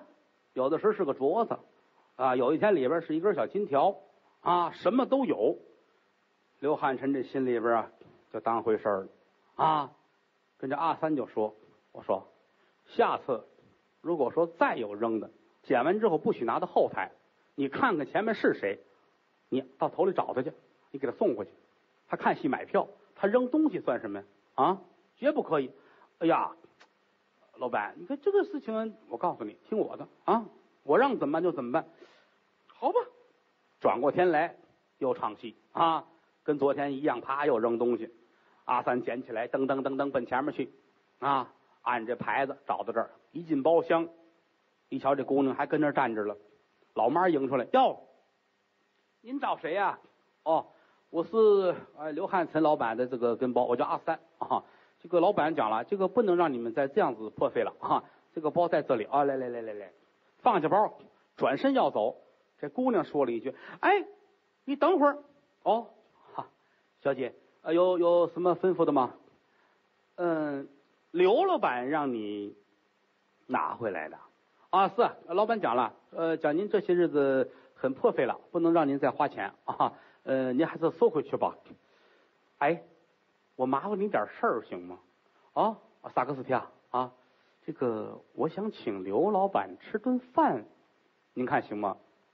哎呦，这个这个要要回去讲一下的啊，你听我的消息吧。哎，好，好，好，那您受累吧。好，那我就走了啊。啊，给你这个。谢谢啊，谢啊，不客气，不客气，不客气，不客气。怎么呢？阿三心说：“这是外行啊，你得吃他呀啊！喜欢刘老板，好极了啊！我能做到，但是不能轻而易举让你见着。回来之后没提这事儿，简短截说，又唱了三天戏。这姑娘这三天又来了，天天看，天天扔啊！散完戏之后，刘汉臣跟老太太一块吃夜宵，老太太都准备好了，今儿累不累呀？啊，来来吃这个，很关心自己的孩子。吃到半截的时候啊，刘汉臣就提到这个事儿，说：“娘啊，总有这么一个女观众啊，她站在这个包厢那儿往下扔东西，她天天这么扔，她家里得趁什么呀？一座金山，她也不能这么糟践呢。”老太太听到这儿，心里咯噔一下子。哦，这么回事儿啊！我跟你说，咱们出门在外啊。咱们是做艺的，不管怎么说，你师傅的话你得记住了，绝不能出事儿，更不能在女色上边出大问题啊！明天我就跟赵广顺园子老板说去，女学生的票不卖，只要是女学生就不卖。好，我听娘的，跟园子老板一说，老板，哎，不让卖，老太太有这意思啊？您看怎么办呢？不是这个，咱们演出唱戏，你可管不了观众什么身份啊？人家都买票，你凭什么不让人家来？不是老太太说怕出事儿，你看，你这样吧，今天今天咱们咱们先拦着点有学生来不让进，行吗？呃，我今儿过去再说，跟老太太说，就说不卖了，让老太太放心。哎，行行行，当天园子门口啊，检票的就开始说了，而且售票那也告诉了。学生不卖，女学生来了不让进。哎，那个女学生就没让进。为什么不让进？不成，跟您说，我们有规矩啊。今儿这戏啊不适合女的看啊。不，那么什么戏不适合？我跟您说啊，那个我们这个不适合女学生看，戏台上不好，女学生看不了。老妈乐了，我能瞧瞧吗？不是，那也不成，也不成。你别别来了，别来了，不不让进，说什么不让进。这儿磨分吧，门口转一圈啊。老妈说不要紧的，这会儿不让进呢，他这会儿乱哈。咱们待会儿咱们咱们那儿咱们喝碗馄饨去，喝馄饨溜一圈回来，他也开了戏了，咱就蒙进来了啊，要回来了啊，还不行不行，还不让进，不是还是你们俩吗？刚才不说，你看你白喝了馄饨啊，不是咱们再走，咱们再喝一碗去吧，走。你别蒙我来了啊！不让看戏，喝馄饨管用吗？啊，站这闷闷哭，老妈给劝回去了。哈，园子经理这老太太一说：“行了，没让进，您放心吧。”老太太很高兴。好，这样呢，能保证呃汉臣不出事儿哎，老太太，我跟您这么说啊，汉臣是不出事儿我快出事儿了。女学生不让进啊，今儿掉一半座，你知道吗？啊，少来五百多观众啊！我说那那行去，那不成，不让进。哎，您甭管了，老太太。您呐，把住了汉臣，其他的事儿都由我了，好吧？打这儿起，天天的卡在口上，卡着严，只要是这个女观众来，就不让进。哎，这天这女学生又来了，今天这打扮跟往常不一样，往常弄一荷叶头啊，穿的学生的衣服，今天挺好啊，烫个头，穿着旗袍，这手拿着手绢，拿把小扇子，老妈搀着来到门口买票。伙计们一瞧，一毕业了，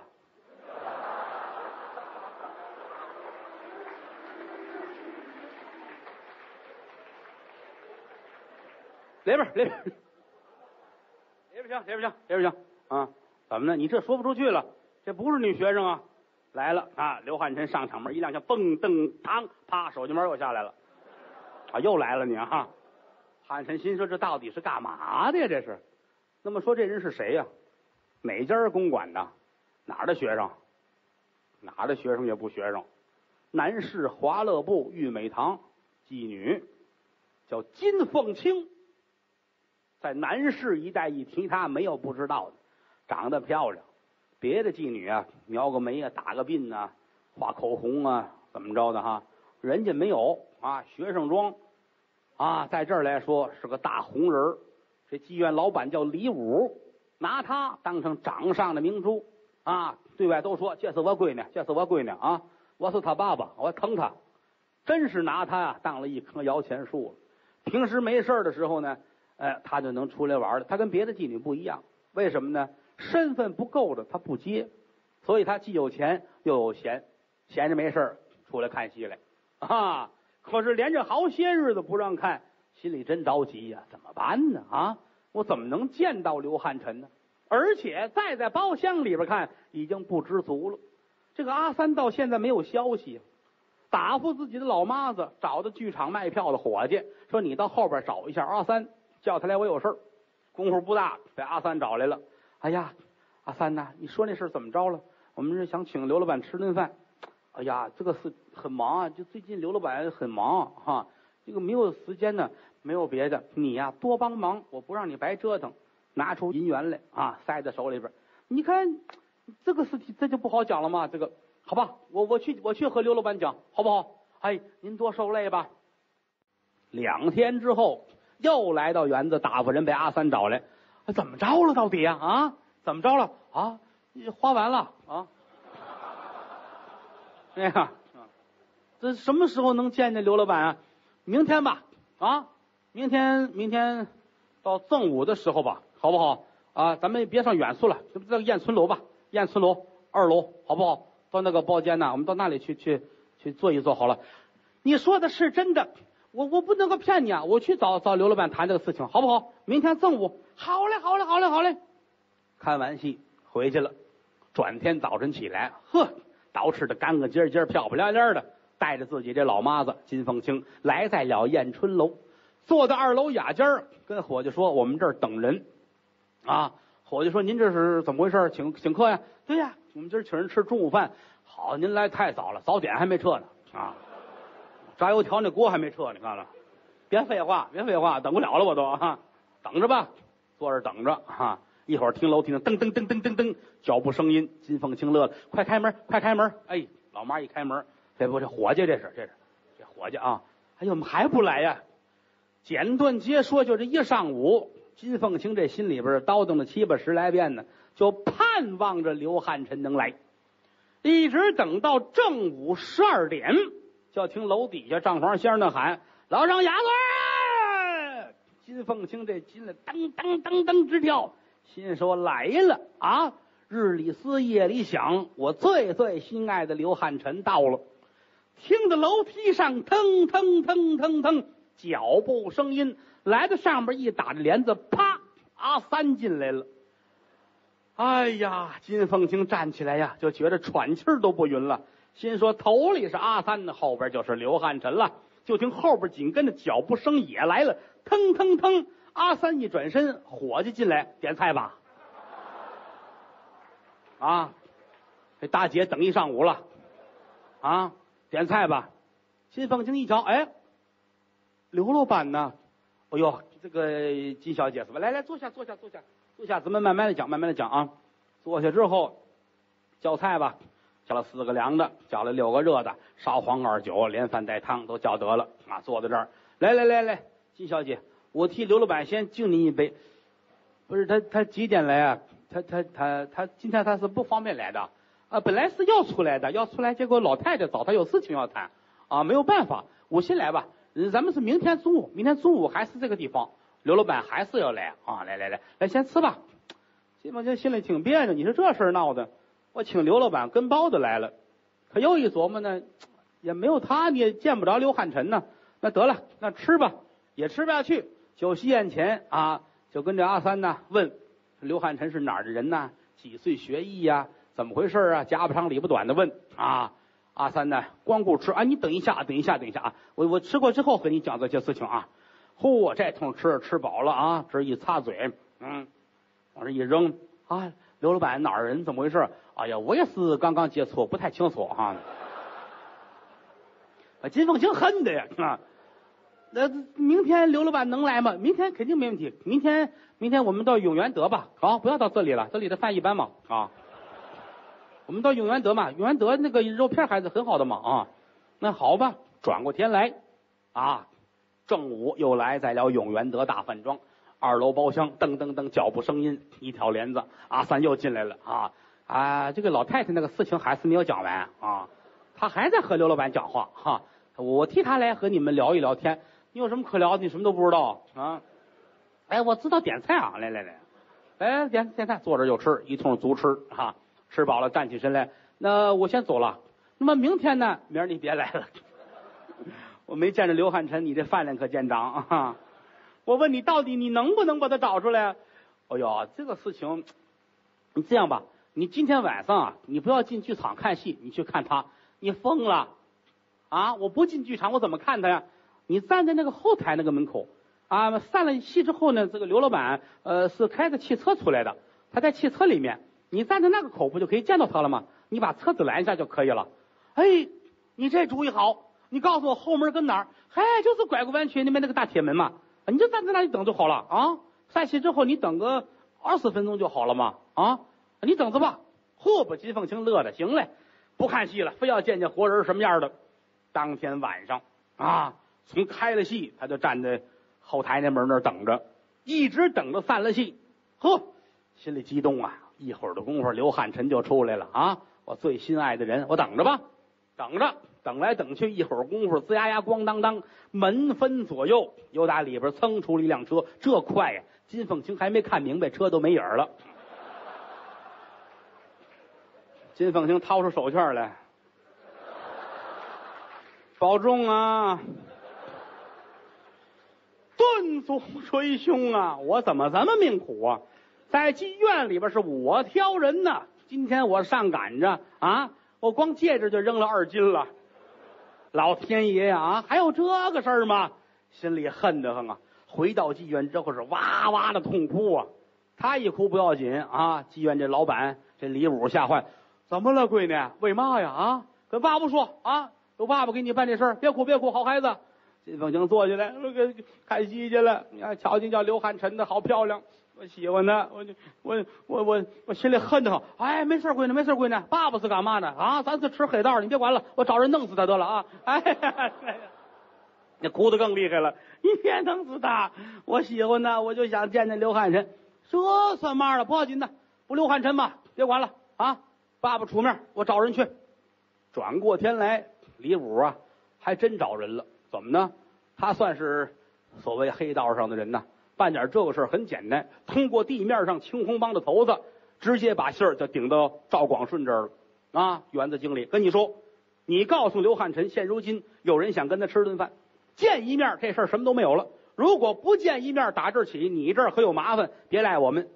赵广顺害怕，别介，咱们是自己人呐，都是男士这长起来的啊，都是哥们儿，你别管了啊啊！我我给你安排这事儿，甭管了，甭管了啊！事儿安排完了之后，回过头来找到阿三，我得见见老太太，把事儿说了。有人想请汉臣吃饭，如果说不见的话，我估计对咱们这是个影响。跟老太太一说，老太太说：“这人是谁呀？”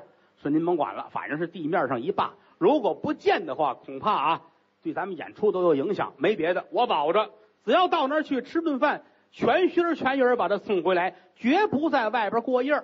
老太太点点头，好吧，你说的话我听。可有一样，我儿子交给你了，带走还得给我带回来，不能损伤一根汗毛，掉一根头发，你给我一两金子。老太太，您先数数多少头发啊？这他出去啊，拢拢一把掉几根，我赔不起。我那是跟你开玩笑，你快去吧。好嘞。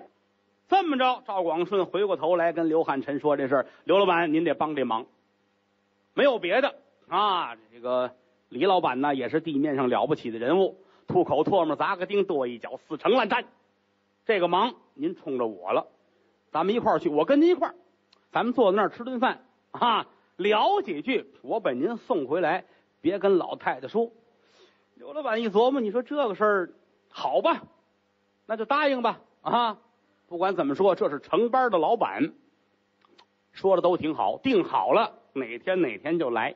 嚯，整个华乐部玉美堂从早晨起来，扫地的、拾掇的，啊，准备的非常好。为什么呀？金凤清啊，半夜就起来了，都起，都起来，快点，快点！今天中午啊，我们跟这个刘老板吃饭啊，你们起来归置屋子吧。大伙儿这通骂街，那不明天中午的事吗？你得睡觉啊，那不行。都做卫生啊！你扫去，你擦那边，你把这都归置了啊！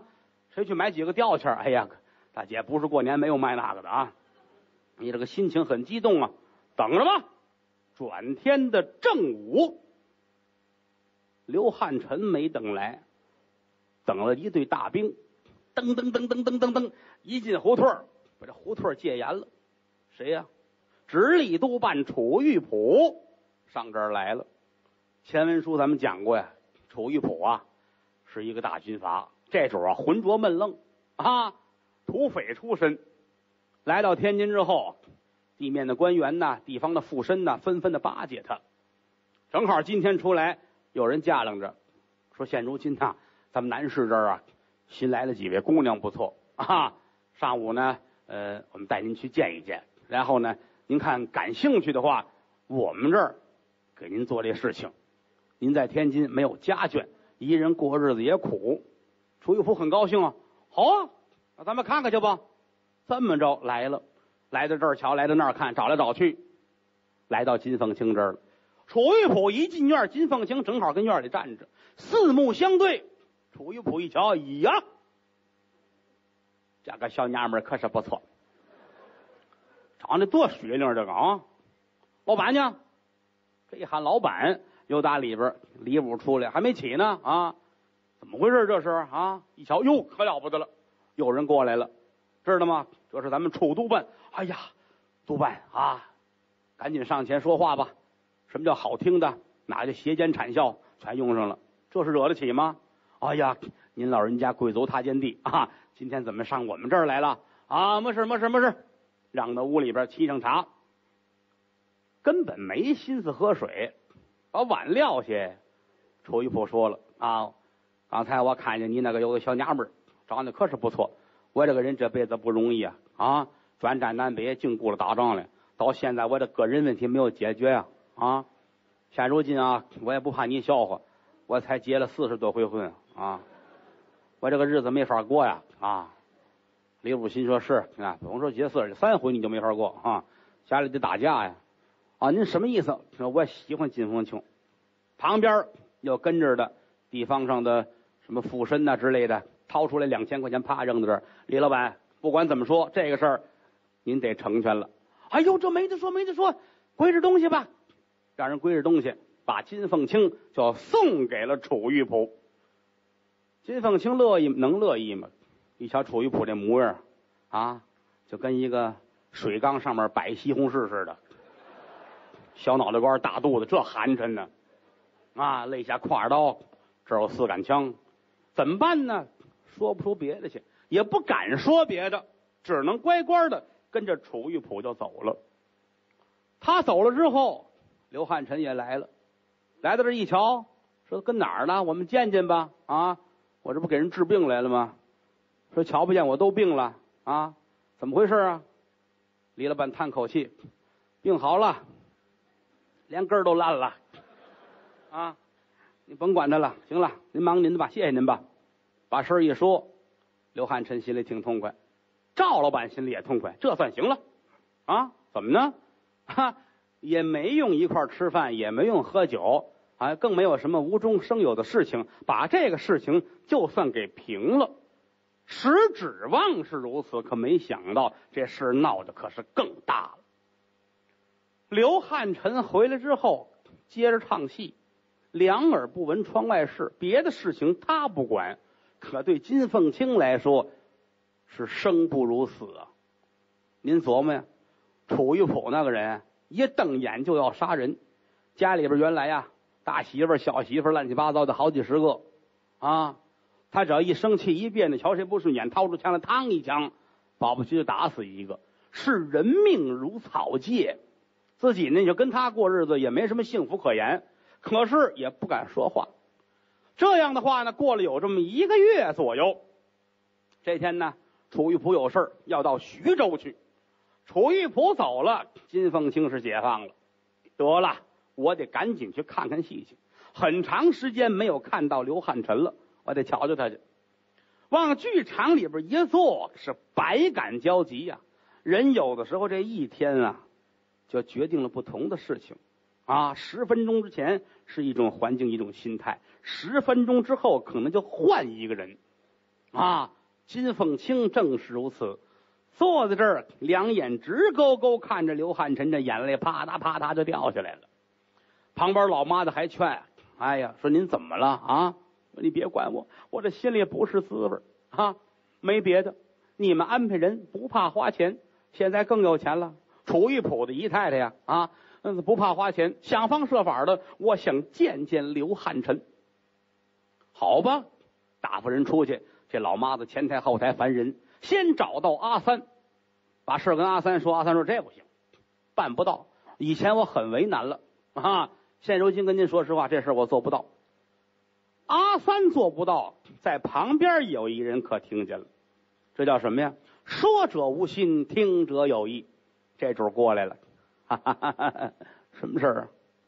我能啊，阿三，来吧，我帮你这忙吧。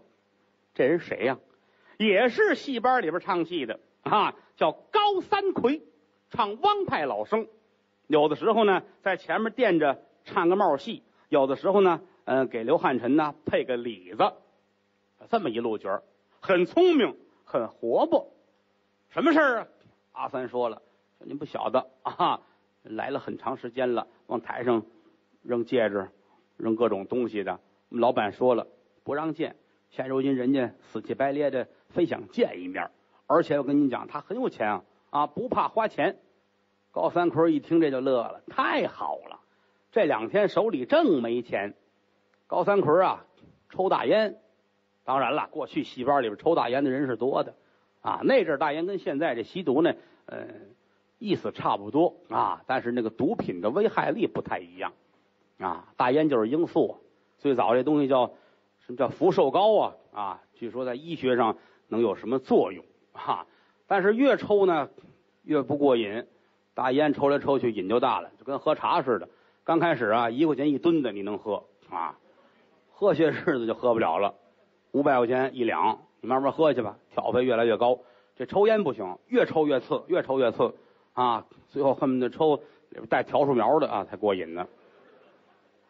抽大烟也是大烟，后来就发明白面了啊。白面比这就不一样，提炼出来的。抽白面，老先生可能有人还知道过，讲究抽高射炮，一根烟卷烟丝拧出一半，把那白面续在里边，这么举着点着了抽，这叫高射炮，不能洒出来啊。后来还有人发明小烟袋啊，直接拧到里边，这么抽啊，这就很方便了。这东西是这样，越抽完了呀越难受。当时是过瘾了，可是觉得很干，很干渴，必须想吃凉的东西。过去有钱人抽完大烟，吃点那年头就吃进口的水果，吃那个能好一点。当然不是每个人都花得起这钱，一般有的人渴也干，喝汽水。可有一样，喝完凉汽水，马上这瘾就上来。刚抽那白抽还得来，啊，这不谁发明的这东西？过去来说旧社会也有这禁烟的，逮着北京就有这，逮着之后。先剃一头，脑袋上这头发留一十字儿，啊，然后强制戒烟，一个月出来了，胳膊上刻一十字儿，拿蓝墨水涂完了，啊，第一次没事，第二次逮着还这样，十字要是有仨就枪毙，过去的规矩啊。高三奎就好这个，戏班人喜欢抽烟，为什么呢？太累，有的时候一天是两出戏，有时一天三出戏，而且来说呀。嗯，戏班里来说，没有过去来讲，没有说一个人就盯一个活的，啊，我唱小花脸，就这一场，前面有一个店家，后边有一个借差，最后可能还有一皇上，啊，都是我这一个人演小花脸，后边添几笔就是一个活，这一晚上不定出来多少趟，为什么呢？为了活着，这家唱完了，洗了脸，奔那家赶，很累，累怎么办呢？要麻痹自己，有的时候太累了，肚子疼啊，这儿难受那儿难受，抽一口大烟。哎，短暂的麻痹自己，所以很多艺人那会儿呢，都愿意抽烟啊。高三奎也是如此，抽可抽，他这戏份啊，供不上，他抽的多也没钱，怎么办呢？正着急呢，听这么一信儿，把高老板乐坏了，太好了啊！这事儿我要给搭个成了，能白得了我吗？好，我跟你去吧，面见金凤清啊，说您说吧，怎么着？哈，需要我帮什么忙啊？我呀很喜欢刘汉臣刘老板，但是呢，我想见他一面都很难。您能不能帮我这忙？你放心，我们师兄弟儿啊，我们都是戏班的。他唱齐派，我唱汪派，我们这是老生啊。嗯，没得说，跟亲哥们一样，好极了。那明天晚上演戏的时候，我还来，我给您点东西。麻烦您转交，好嘞，您别走，一伸手，拿出这么一掐现的羊来，给您这个，这是谢谢您。您这事儿闹的，你这什么都没干，您明儿还给吗？啊，你这这事儿您甭管了，你们白不了您啊，你白不了您。当天回去，金凤清夜不成寐，睡不着觉了，摊开了纸，拿笔给刘汉臣写了一封情书。把自己这意思全说了，这么长时间我如何仰慕你，如何如何全写上，很希望跟您见一面。写完了都封好了，转过天来又来看戏来了。刚坐到包厢里边，高三奎就来了。怎么呢？那钱花完了啊！来到这一见，说您把什么东西让我转交啊？你把这拿走，就把这封信拿过来了。一伸手，又拿出一张一百块钱的纸票。这是我谢您的，您受累，把这封信交给刘老板。好嘞，拿着信，拿着钱，高三坤出来了。出来之后一琢磨，哟，这事儿可难了。想的是简单呐，我给他，他就非跟我急了呀。汉臣是一个很正直的人呢，嗯，他这一瞪眼，以后别管这事了啊，我这财路可就断了。我怎么能把这财路接上，让他时间长一点呢？对，得让刘汉臣给他回封信，有这封信回去，还能勾出下一个一百块钱来，挺好。可是汉臣绝不会写的，怎么办呢？嗯，他不写，我写吧。对，我来吧。这封信他可没给刘汉臣。晚上回到了自己住的旅店，摊开了纸，拿过笔来。高三坤为了难了，打小学戏呀，这个学问不大，幼儿失学，哪有这么大学问呢？一琢磨，人家这个不定是哪家的大小姐了。我写的要是言辞粗俗了，也不像汉臣呢。我得写的文绉绉的。嗯，子曰：“我也很爱你。”他未必信，我都不信。写点什么呢？溜溜的，急了大半宿，猛然间想起来了，我写别的也不会，我这样吧，图个省事儿，我给他抄一段戏词儿吧，我把唱戏那词儿写上，他爱怎么理解是怎么理解。对，摊开纸，写什么呢？哎，我会个斩黄袍，我把这写上吧。丹凤眼来看端详。果然是一阵好战场，人成对马成双，刀枪剑戟列摆两旁，桃花马坐定一女将，口口哭的北平王。明明知道故意讲，何方女将反变良？写完了，叠好了，装一信封。转天晚上，一望两望一瞧，包厢里边来了。高三奎到这儿，这是刘老板给您的信，您瞧着这个。嘿，真的呀。金凤琴接过来，眼泪都快掉下来了。哦，朝也思，暮也想，今天汉臣给我回信了啊！太高兴了，抻出一张一百块钱来，给您这个。不是你这不合适了，这就哪能见天这样的？这你这我，您拿着吧啊！您受累了，我烦了多少人都没办成这事儿，您给办成了，我谢谢您。不是您这这显得我就爱财了，这就啊不合适这个啊。您别走，我这还有一封信，您把这个信给刘老板，把信又拿回来了。金凤清坐在包厢里，把这封信抻出来一瞧，丹凤眼来看端详，什么意思？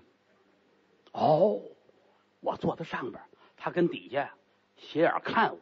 丹凤眼来看端详，果然是一阵好战场，那可不吗？我跟楚玉甫这事儿，这不跟打架似的吗？对对对对对。人成对马成双，刀枪剑戟列为两旁。嗯，对，还有盒子枪呢，这里头啊。桃花马坐定一女将，甭问呢啊，我就是那女将。桃花马，哦，这老妈子。口口哭的北平王，北平王是干嘛的呀？我这个才疏学浅，嗯，人家刘老板学问太大了。你看人家写这唐诗啊，嗯，不管怎么说吧。这是给我的一个信物，收起来吧，收起来了。那么高三奎回去之后呢，把那封信拿到家里一瞧，还得回信呢。今儿写什么呢？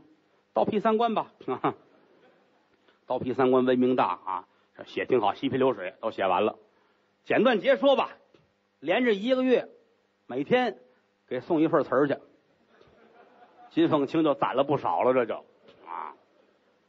一个月过去了，金凤清心说：“要这么看，我跟刘汉臣这关系应该是不远了。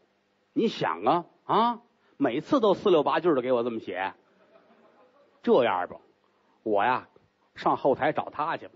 他这么大一老板啊，名家名角，让他出来不现实。我找他去吧。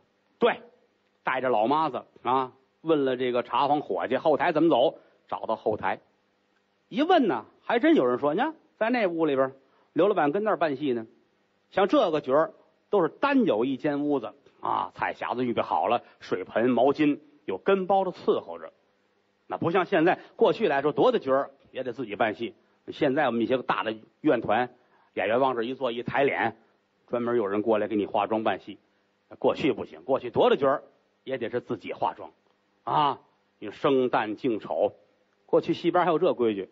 小花脸要先动笔，这丑啊，这一后台梅兰芳的班也得是小花脸先动笔，他先画，他画上了，别人才许化妆。因为据说过去来说，这个戏班的祖师爷是唱小花脸的，所以说在戏班里边，小花脸的身份很高啊。打鼓的还有小花脸，说是戏班里边能主持正义，有事儿冲他们俩人说，或者打鼓的给了，或者是唱小花脸的给了，啊，有这规矩。过去来说，这个角儿都自己办戏，像这个身份的，有自己一间屋子。金凤清推开了门，往里一瞧，刘汉臣还没办戏呢。为什么呢？头里边有两出帽戏那垫着呢，跟这儿正歇着呢。啊，旁边有跟包的，给拖着茶壶，闭目养神。门一开，金凤清站在门口，这心噔噔噔噔乱跳啊！嗯。心说这就是我朝思暮想的刘汉臣呐，现如今是近在咫尺。每天呢，在剧场里边，我坐在包厢里边，他站在台上。今天这感觉跟往常不一样，心里边有万语千言说不出来了，不知道说什么，站这就愣了。可是心里说，你总得认识我。一个是我没少捧你，包厢离你最近，你也看见过我。二一个来说，这一个多月传书递简啊，你光唐诗给我写了多少了？你得认识我，所以站在门口呢，想说话又没敢说。拿眼睛一看刘汉臣，刘汉臣一睁眼，哎，那么说认识他吗？知道他是谁啊？就跟说相声一样，这一出场，后边当然未必看得清楚。说前排这些位啊，哦，每天都来的这个是吧？那个，我们心里都有个数。你要说瞪眼我没见过，那是瞎话。刘老板也是啊，知道捧我的，可是姓什么叫什么不知道啊。站起身来啊。您找我吗？啊，这一问呢，金凤清说不出话来了。我怎么说啊？站这傻了啊！我我我我没事儿。哦，啊，您没事儿，那我要办戏了。什么意思？你要没事儿，我办戏，我化妆了，你该干嘛干嘛去吧。这就是软托，明白人就得是啊。好，那您忙着，我我我不打扰您了啊。你到戏边后台都是这个，你有事儿没事办戏了，办戏那忙你的去，就是轰你。你绝不能办戏了，太好了，我就为看这个来的。我没看过，你来吧，你看吧，没有这样的哈。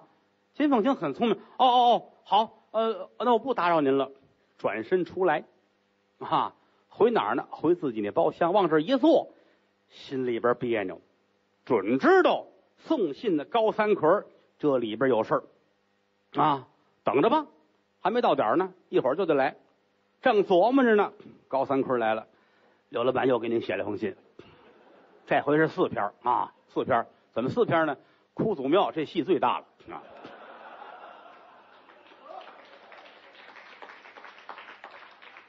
您这个，嚯，这回比往常给的多是吧？啊，那刘老板越来越爱您了，你知道？拿着吧啊，行，这个明天您有时间吗？啊，什么时候？明天中午吧，我请您吃顿饭吧。哟，您瞧这，让您破费啊？您合合适吗？您别说别的了，明天吧，劝业场后边有一个红叶啊，咱们到那个酒楼，我请您吃饭，您一定要去。哎，您放心，我明天准去。高三奎听到这，心里高兴。天津卫大小饭店是不少，但是红叶了不起，在哪儿啊？劝业场后头，就现在九路汽车站那块儿。呃，现在这个饭馆没有了，在当初这家饭馆与众不同。比如说啊，你到某个饭店去吧，登英楼要碗馄饨，六分钱，加鸡蛋九分，啊，什么这个一大碗热气腾腾，上面还得飘着什么肉丝儿，都挺好，一大碗才九分。你要上红叶八毛，贵，特别的贵。可是哪怕是炒土豆丝儿，你尝去吧，你吃了一口你就觉着。哪儿的饭都没法吃了，这么好的厨子叫红叶，啊，一般人吃不起，太贵了。一听说上那儿去，高三奎乐坏了，当天晚上散了戏都没吃饭，啊，明儿我得吃这个去。转天戏是下午的戏，一琢磨呢，中午吃完饭正合适啊。上午十一点来钟，换换衣裳又洗把脸，又打这儿出来，赶奔红叶。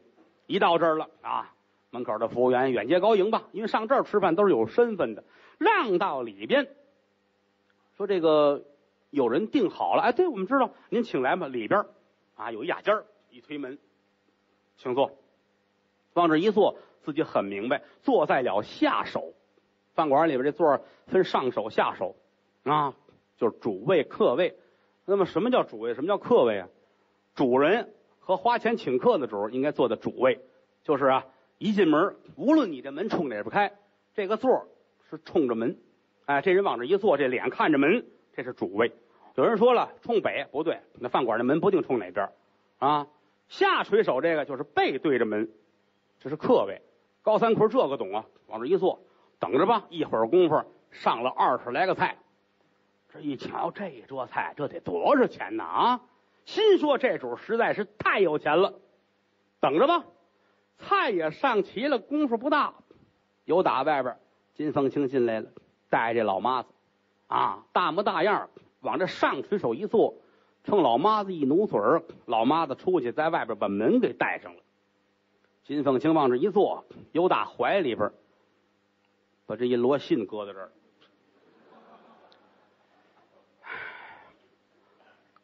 高老板，哎呀，哈 哈您别这么客气。您瞧，您请我吃饭，这这太高级。我知道这儿挺贵的，您这是没事儿啊。嗯，给您添麻烦，不不客气，不客气啊。呃，尽我所能，尽我所能啊。您这喜欢刘老板，我应该给您帮这忙啊。汉臣跟谁学的呀？跟麒麟童啊，周信芳。哦，他唱的是齐派是吧？对对对对，您是我唱老生啊，您懂啊？哈。你也是齐派？不不，我唱的是汪派，他唱的是齐派。哦，金凤清点点头。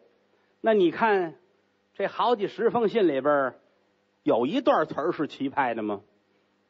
这都是汪派的呀！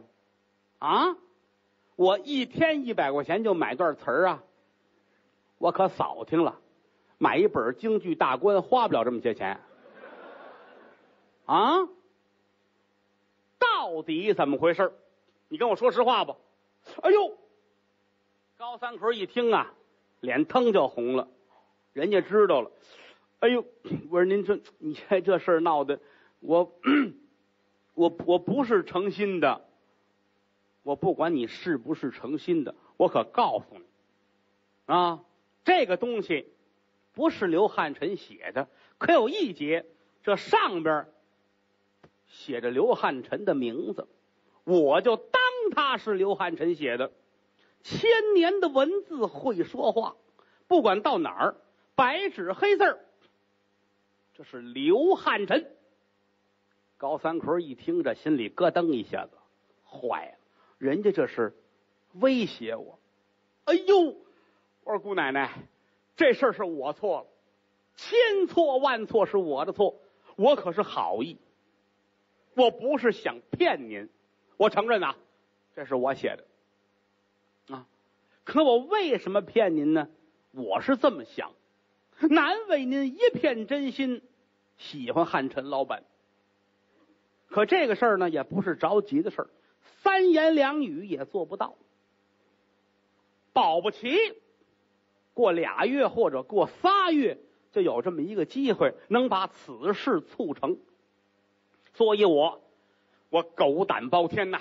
姑奶奶，您原谅我，是我自己写的，这事儿是我错了，您原谅我吧，我是好意。高老板，您既然把话说到这份上了，我再说别的也不合适。我还告诉你，你别害怕，这个事儿我不追究了，真也罢。假也罢，这事儿算是过去了。以前给你那些钱不要了，不算什么。姑奶奶有的是钱，这算什么呀？你拿走，随便让你花去。还告诉你，你看这儿了吗？一伸手，掏出五张一百的来，啪，往这一扔。这个也是你的，知道吗？拿走吧，姑娘。我这个，我有点不要脸了，我这就，我回去我还得写啊，我还啊，不这事儿过去了吗？我给您写封感谢信，我左右手一样来一封哈，你废话不够你说的啊？行啊，这事儿啊就到这儿。不过你可记住了，你欠我的人情。说完话，站起身来，拿着自己的包。推门出去，是扬长而去。高三奎坐在这儿啊，浑身出了一场透汗呢，心说这叫什么事儿？挑大拇哥，人家这位了不起，别看是个女的，做出事儿来比老爷们还刚强。我干这叫什么事儿啊？心里难受，叹了口气，哎，伙计，上米饭吧。那都凉了啊，光害怕了，都吃完了。啊，回到后台瞧见汉臣，就觉着亏心。他要不说呀，其实这事儿也没人知道。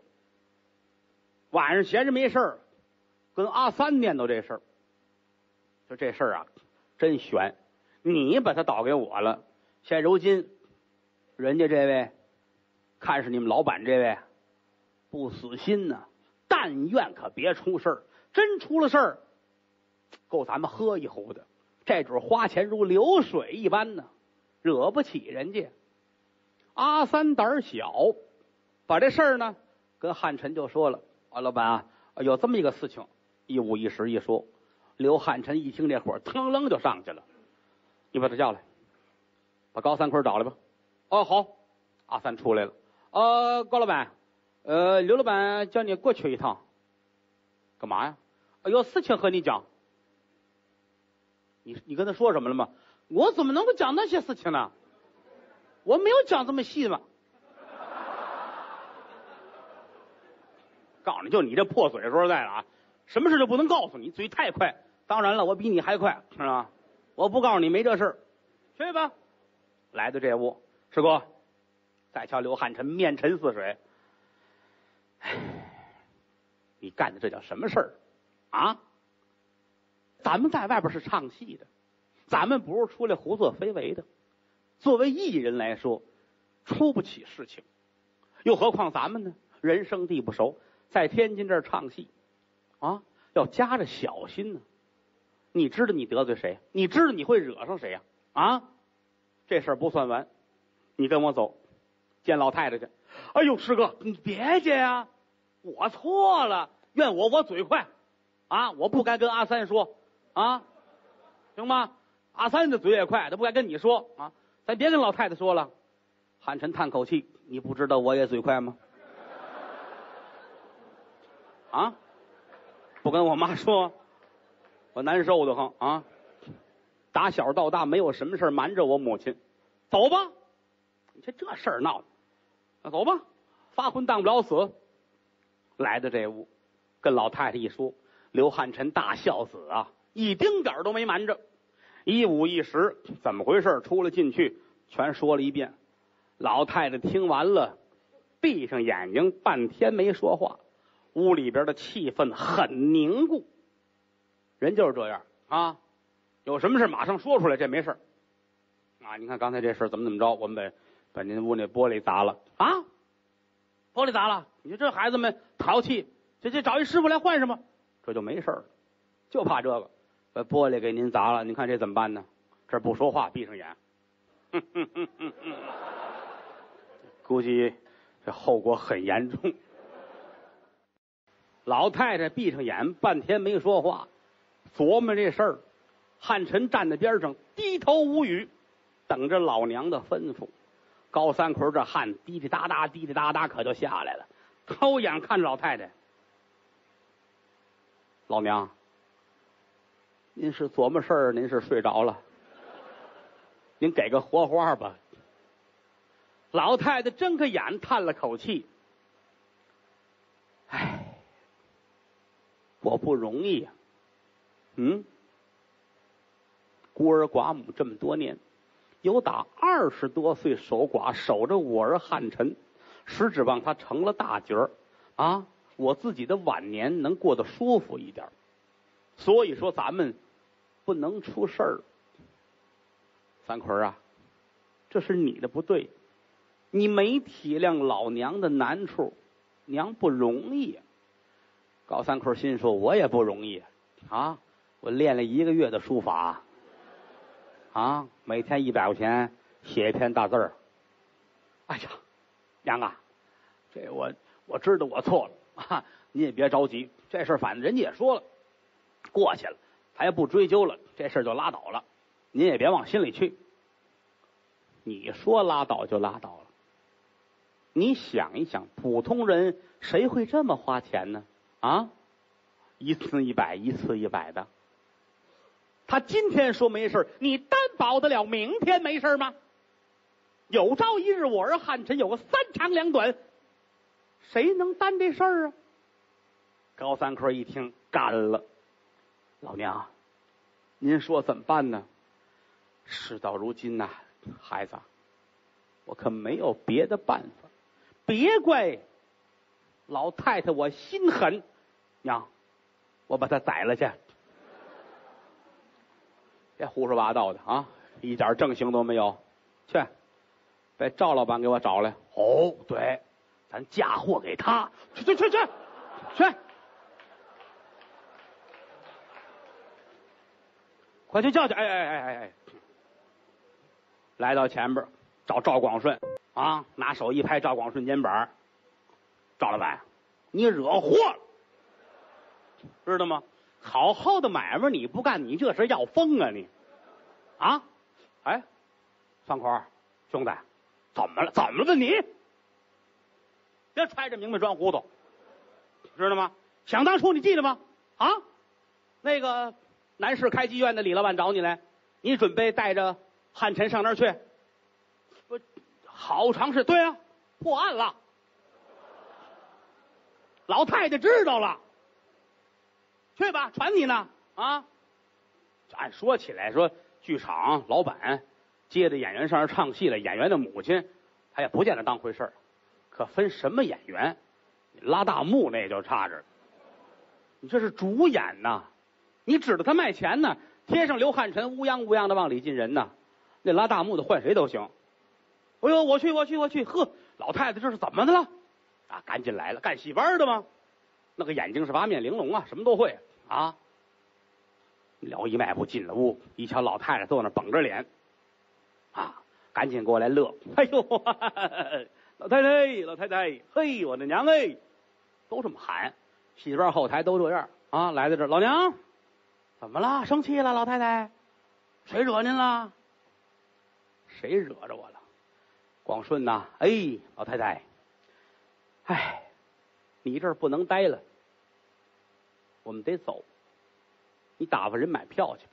明天一早，我带着汉臣，我们就回去。您您怎么了，我的亲娘？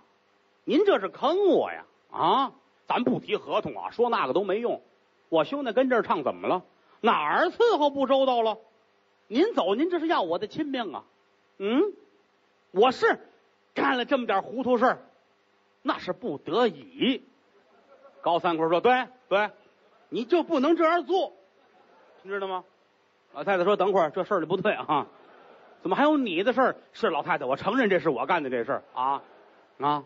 不过那事儿不过去了吗？”老太太一瞪眼：“你说过去就过去了啊！今天没事，后天没事，你能保证哪天他不找见我儿子啊？这一百一百的给着啊！等哎，您等会儿这个，这我没听清楚，怎么还有一百一百的？你问高三坤。”赵老板一回头，兄弟，这不是一回事吧？你这不对，你往坑里领我哈！听，不是 哥哥，你看，你听老太太说，听老太太说，老娘啊，到底怎么回事？我这都浑身一脑袋汗呢，这个急死我呀！怎么回事？哎，老太太叹口气，把这事儿一五一十全都说出来了，是这么回事啊！所以说，现如今我要走，我带着我儿子走，戏班留在这儿了。你爱接谁接谁，整个底包龙套，连这香都搁在这儿。我们走，我们得逃活命。不是老太太，您这个，您您别着这个急啊。首先说啊，那个女的是谁，咱们也不不不熟悉，是不是？再一个，她来这么些日子，她无非是一天一百块钱这么花着，她买点戏词儿回去，是吧？他也未必能把我兄弟怎么着了啊。有我在。我保着他，您不放心吗？我保着他，那谁保着你啊？高三科过来，我保着他啊！你出去去吧，去吧，去吧！添乱啊！你这个货头玩意儿啊！老太太看着他长起来了啊！怎么办？这个，哎呀，反正不管怎么说，我的亲娘啊，您是不能带着汉臣走啊！啊，这一个月的戏票都卖出去了啊！他走了，谁唱啊？嗯，老太太，您这不要我的命吗？他走了，难道说您让我唱吗？我唱有人看吗？啊，我不要不三奎唱啊？高三奎想想，哎，也行啊。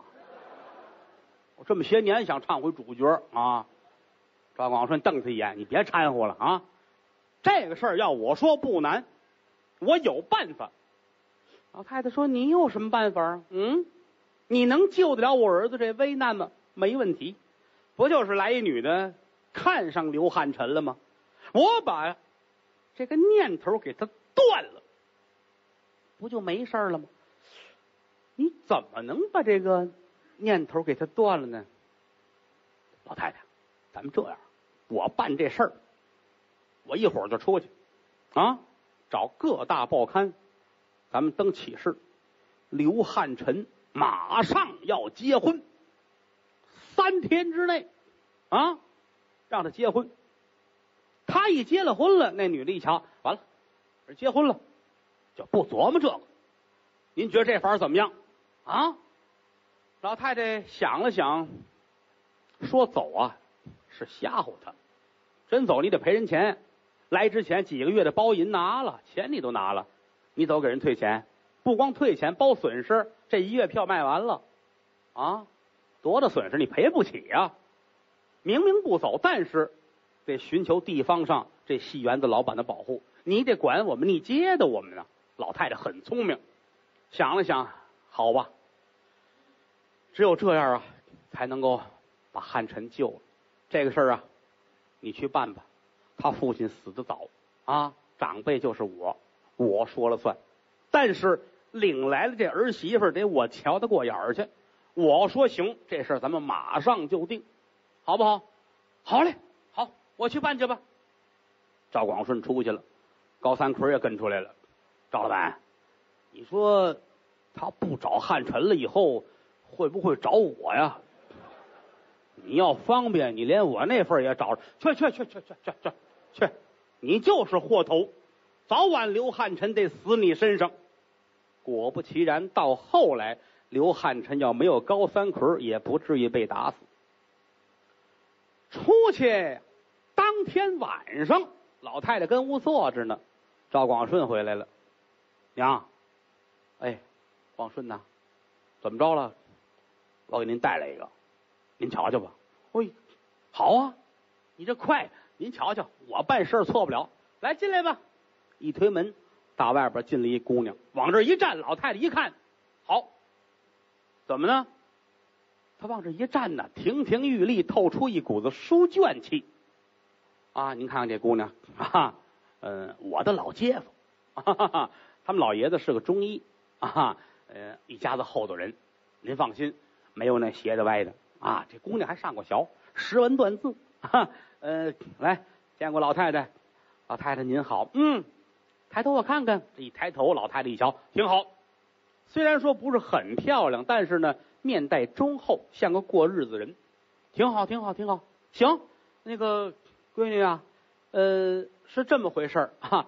我儿子叫刘汉臣，你知道吗？啊，我听说过刘老板啊。嗯，一人呐也不容易，老大不小的了。我这说给他娶个媳妇呢，成个家。呃，你愿意吗，闺女？哟，老太太，您说的要不愿意，我就不来了。好，好，广顺呐，没问题，我很满意啊，这事儿就定下来吧。好，老太太急不如快啊，三天之后我花钱啊，咱们天津登英楼，楼上楼下三层楼都包下来，大排宴宴，待客不收礼。什么叫待客不收礼啊？您上这儿来道喜来，您可别花钱。说来了，你花钱随份子。对不起，不预备账房，什么意思呢？哎，就是愿意啊，真心的对待各位，而且来说，告诉大伙儿，我们这事儿不是拿这当买卖干，因为过去有这个啊，一没钱了怎么办呢？啊，我过生日都来吧，呼噜呼噜都来了，随份子吧，是吧？这给五块，那给十块，大伙儿凑钱，反正他那两块钱一桌子让大伙儿吃，啊，都走了，坐这一数，这合适啊。下礼拜又打电话，我又过生日啊。我算错了，我算错了啊！来吧，他拿着当生意干，嗯，现在这个不给起照了啊，原来不给起照了啊！消息传出来，整个天津轰动，嚯！刘老板要结婚了，咱们得去呀！戏迷们都来了啊，有头有脸的朋友们也都来了，整个登云楼楼上楼下这个热闹啊！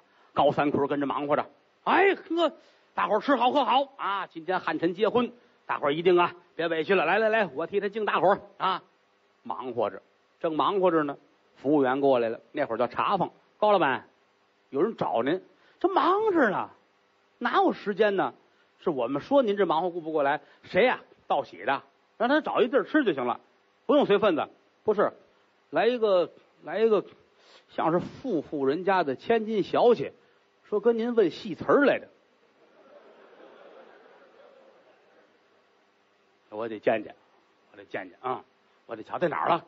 就在门口呢。哎哎哎哎哎哎，转身出来了，到门口一瞧，正是金凤清。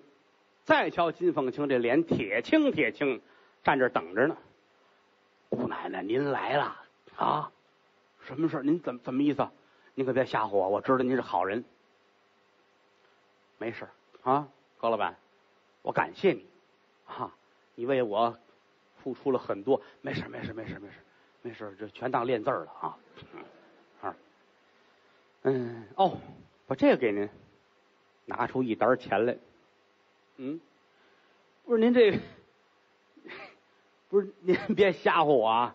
我我可不敢了。给你就拿着，不是，再写就得翻头了啊！我就会这几出戏。啊，你讨厌，你学油嘴滑舌的。我有事儿求你，姑奶奶，你是我亲奶奶，咱可说好了，我办得了，办不了。你可别为难我，我还得跟戏班里边混呢，我得指着刘老板吃。干嘛说这个？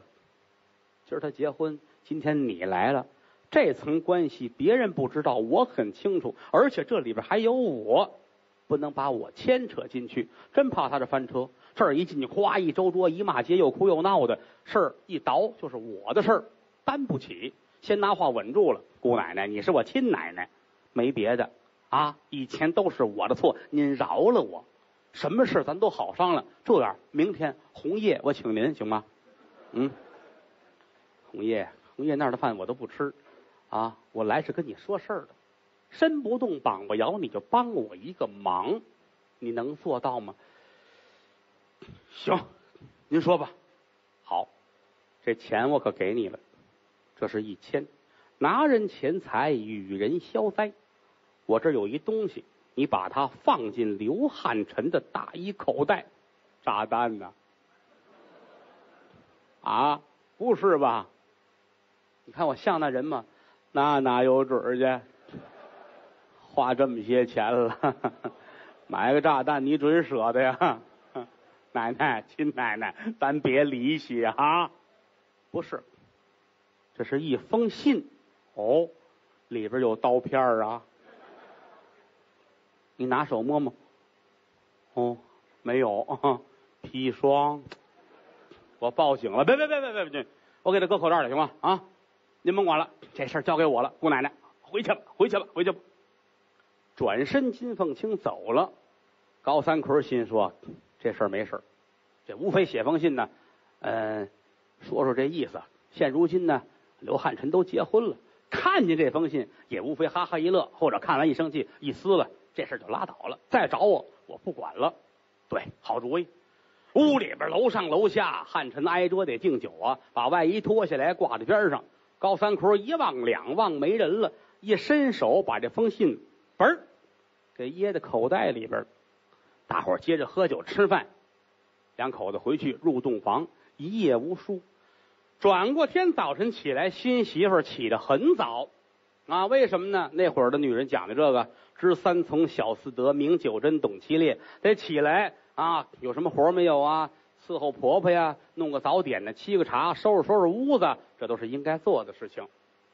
这都忙活完了，一瞧昨天呢，汉臣回来可能也是累了，这个上衣就扔在这扔着，怕有褶子，赶紧拿起来抖楞抖楞，一抖楞，这个衣服拿的时候不是提着领子，是提着边上，再一调过来，不等。这封信出来了，出来了，拿手一捡，一瞧啊，这信封可没封着，口张着，而且这信纸没完全塞进去，跟外边淡着这么一块了。翻过来一瞧啊，这个信封的面上没写字儿，啊，有一个口红的印儿，而且这口红这不大，一看就知道嘴儿小，这么大个儿啊。我这嘴就那么大个儿，一瞧就知道这是女人的唇红，心里咯噔一下子。信封开着呢，把信纸抽出来，一瞧上面写着，心里可不是滋味。怎么呢？没写别的东西，通篇写的都是爱啊，各种笔体的啊，钢笔的、铅笔的、毛笔的，什么样都有，写一些这个。哎，这怎么回事啊？拿去给自己的婆母看。汉臣的母亲一瞧这个，心说坏了，这出事儿了。看起来想当初那女的没死心，再这样发展下去，我儿汉臣要毁在天津。派人去把高三奎叫来，准知道是他的事儿。怎么呢？他是祸头啊！把他叫来，老太太一问：“你说实话不？这怎么回事？”说：“这我不知道。”你还不知道呢？啊！我可告诉你，你跟汉臣年岁相仿，亲兄弟一样，我拿你当我亲儿子这么疼啊！你能眼睁睁瞧着你哥哥让人家暗算了吗？而且到如今来说，咱们不知道人家对方的底细，你这样做怎么行呢？你说吧，这女的是谁？到底长什么模样？高三奎也不敢说，也不敢不说。那个什么啊，她就反正是一女的啊，爱看戏，个儿挺高啊，呃，梳一大辫子。金凤清不梳辫子，烫个头。他说梳一大辫子，梳一大辫子啊，那个这他喜欢，没有别的意思。老太太您甭多想。老太太说那不行啊，找去吧，把剧场的老板赵广顺给我找来。赵广顺来一瞧，老太太这眉毛都拧上了。老娘啊，您又怎么的了？没别的，赶紧出去安排买票，我们走天津，不唱了。赵老板说：“您怎么回事儿？这是不说好了吗？给汉臣成家之后就不走了，不走了。现如今又出事儿了啊！一大高个一姑娘，梳一大辫子，每天跟剧场这儿堵着汉臣，这事儿怎么办？你出主意吧。”哎呀，老娘啊，我能出什么主意？只要您不走，您说出什么来，我完全答应。老太太想了想，我说：“广顺呐，我们是做艺的，走到哪儿就是卖这身能耐。在天津唱红了，这是好事儿。我干嘛要走？我不愿意走。可有一样，要是在这儿不安生，不走又不行。你既然留我们。”我有三个条件，你必须得答应。还有老太太，慢说三个啊，三十个、三百个都答应。您说吧，只要刘汉臣不走，好。第一，你给汉臣配一辆专车，能做到吗？能，您甭管了啊，这事儿交给我，一会儿就来，我去办。好。第二，配保镖，能做到吗？您说吧，老太太啊，要多少个？要四个，我给他来四十个，好吗？您放心，保证他掉一根头发，我立根旗杆。好，第三，刘汉臣在天津唱戏，不应酬任何人，不管你是什么人来请，我们一概不应酬，只唱戏。啊，你能做到吗？您放心，有这个我挡着，只要他不走，说的都挺好。老太太乐了，好。这三个条件答应了，我还有一个小要求，啊，您说只要我能做得到，戏园子门口贴张告示，留辫子的不让进。老太太，要不您宰了我得了，啊，这个我管得了人家吗？咱不能光卖和尚啊，是不是？爱看戏的秃子能有多少？那我不管啊，就是那个人，他刚才说了，大个儿留一大辫子，这姑娘来了不让进。哎呀，要了我的命了！行，您甭管了，我安排去吧。转身回来，说弄一车呀，简单啊，安排好了，又找四十个保镖。你想啊，这赵广顺呢，干戏园子的。过去来说，开宝局啊、赌场啊、开妓院、开戏园子的都有点背景，手底下没人不行啊。找了四十个流氓，一个个穿的规规矩矩的，手里拿着棍子，啊，跟着刘汉臣，这都好办啊。关键这不让大辫子进戏园子，这说不过去。想了两天，赵广顺想一主意。天津有一位黑社会的头号人物袁三爷，就是袁文慧，来到这儿送礼说事儿。最后袁文慧给出一主意，打日本宪兵队 借了俩日本兵，扛着枪站在戏园子门口。这儿出一个布告：日本宪兵队布告，留辫子有伤风化，严禁看戏。老百姓跺脚骂街呀，心说这日本人也太没溜了啊！留辫子都不让看戏啊！好些个人呢也不跟他置气啊。再一个，过去来说，说真正大姑娘小媳妇看戏的，终归也是少数。金凤清啊，好几天没来了，为什么呢？写了那封信之后，不知道刘汉臣家里会怎么样，也后悔。你说真因为我这个人家打起来动了手也不合适。可是不给这封信呢，自己心里难受，沉了好几天。得了，事儿不管怎么说，戏我是还要看的啊！喊过自己的随身的这老妈子来，准备衣服啊，梳头换衣服换鞋，咱们出去看戏去。一琢磨，说往常每天呢，我都是穿旗袍烫头，可是我嫁给楚玉铺之前呢，我的捯饬是学派风格，像个念书的。咱们这样吧，被梳头师傅喊来，梳个辫子。我做学生打扮，我估计他瞧见我呀，就爱看我了。捯饬漂漂亮亮、干干净净，弄一大辫子。老妈跟着来到门口一瞧，一瞧这告示，把金凤清气的呀，呵，太缺德了啊！他怎么知道我今儿梳辫子了？不让进拉倒，站在门口生气。又打旁边高三奎过来了，怎么呢？高三奎饿了，出去买东西，正碰见他，一下堵上了。你别走！哎呦，您瞧，跟这儿碰见您了啊！您怎么着？您看戏呀？不是不让看吗？啊，是您，您这是看见告示了，先留的辫子呀？啊！别废话，别废话，到底怎么回事？奶奶，你是我亲奶奶，你别挤兑我了，我真没辙了啊！哎呦，您说您您您别别别别要了我的命！哎，见刘汉臣一面实在是太难了。哎，你身上有没有刘汉臣的照片啊？你给我要一张。您要这干嘛？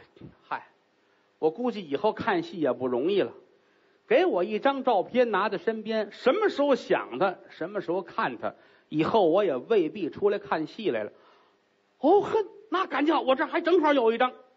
为什么呢？头天上午啊，报社的来了啊，要做广告宣传。汉臣有一张照片搁在高三奎身上了，拿出来了，你瞧见了吗？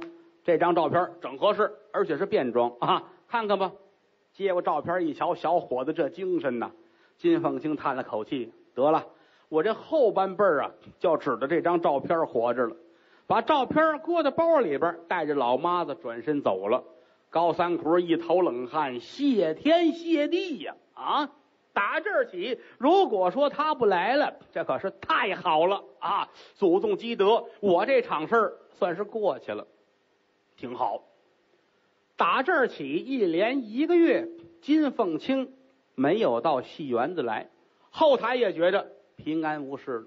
出了进去，四十多保镖跟着，啊，跟着汽车跑，啊，刘汉臣坐在车里边，前面二十人，后边二十人，啊，跟着车跑。老百姓都纳闷，这什么意思？这是，啊，这怎么回事？这车前后都是人呐，前面这二十个吆五喝六的，得喊躲开，躲开，躲开，走那边去，唱戏的过来了啊！老百姓也纳闷，唱戏的这么大势力啊！一瞧前面这帮人，拧着眉，瞪着眼，也不敢说，都往边上躲，躲开点没看见吗？车过来了，谁的摊啊？往这边躲，谁的车？报房上去啊！谁家孩子哭呢？摔死啊！说这意思啊。汉臣心里挺不落忍的，一个唱戏的出来到了扰民的地步了。那么简短截说呀，过了很长时间，金凤清也没来看戏。这天后台来的人了，说我呀是这个《星期六晚报》的。当时在天津来说，大小的报馆林立，星期六晚报是其中的一家专门登点这个八卦新闻呐、花边新闻呐、捕风捉影吧。啊，这个演员谁谁谁啊，跟哪个大军阀跑了，哪个名演员怎么怎么着了，都登点这个啊，很厉害。说我们来了啊，我们采访一下刘老板，那个准备给您出一特刊，您在天津越来越火。汉臣说这好事啊啊！旁边呢，赵广顺也说说这是好事啊。嗯，您什么约个时间吧？这记者说这样吧，今天明天不成了，后天后天我看您的戏啊、比较轻一点，下午没有，晚上有您的戏，咱们约后天的上午，上午十点钟，国民饭店二零三房间，我们在那儿等着您，好不好？好嘞。回来之后跟老太太一说，说后天有这么一事儿，啊，这不是应酬啊，就是记者采访，宣传一下。老太太说明白这，去吧，嗯，这不要紧的，到那儿说话留神啊，记者都厉害着呢啊，好吧，都说完了，顶到这天早晨起来，练完了早功，洗脸漱口，吃完了东西，有车把刘老板送到了国民饭店。来到国民饭店，一直往里边走，有茶坊岭路上二楼二零三，噔噔噔敲开门，一敲这门呢，这个门没锁啊，门开了一道缝，拿手一推这门，往里边迈了一步，一瞧正对脸那沙发上坐了一个人，金凤清啊，捯饬的这漂亮啊，比往常都好看。一瞧刘汉臣，噌一下子，这位姨太太站起来了，拿手一指他，汉臣，我想死你了，我啊啊！您不是星期六晚报的，我买通他们诓你来。哎呀，你这叫什么事儿啊？对不起，我要告辞。你等会儿，你要是走，我大声的喊叫，对你这一代名伶来说，可不是好事。我有话要和你讲，一肚子苦水要跟你聊会儿。你坐下吧，我也不会吃了你。两个人坐下说话，门就关上了。那么，关于这一段来说，历来的演员们所描绘的不一样，说什么都有啊。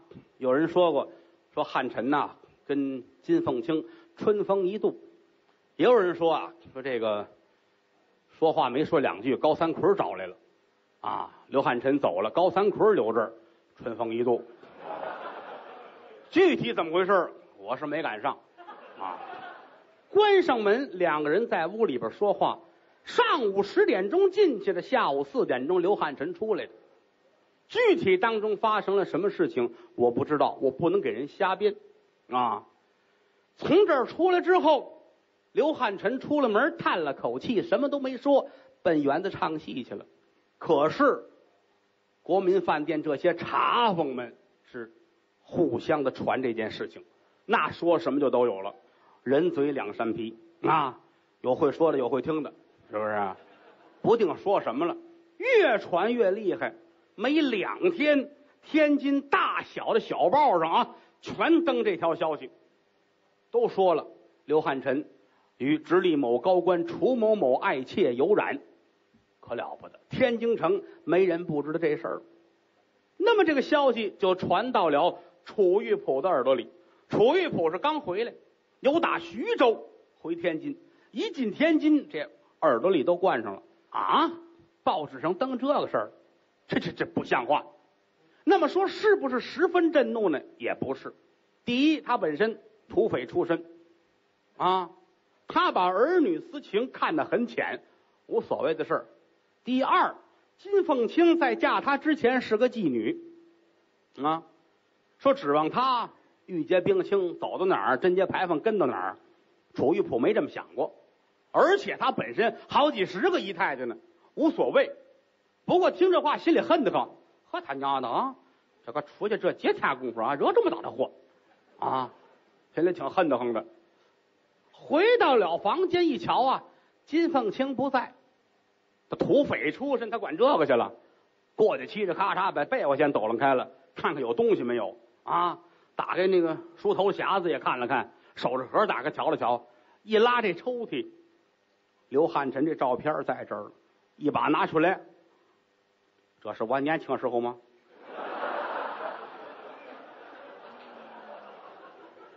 我怎么看着不像我呢？啊，身背后站着几个勤务兵直乐，那小他娘什么呀这是啊？怎么回事这是啊？定住了心神，一琢磨这个事儿，我得问问啊。先问谁？先问那老妈子去，把那个徐妈给我叫来。打外边老妈进来，哟，督办您回来了，收办啊，督办呢啊？这是谁呀？哟，这这。这唱戏的刘老板，刘汉臣是不是？哟，您都知道了哈。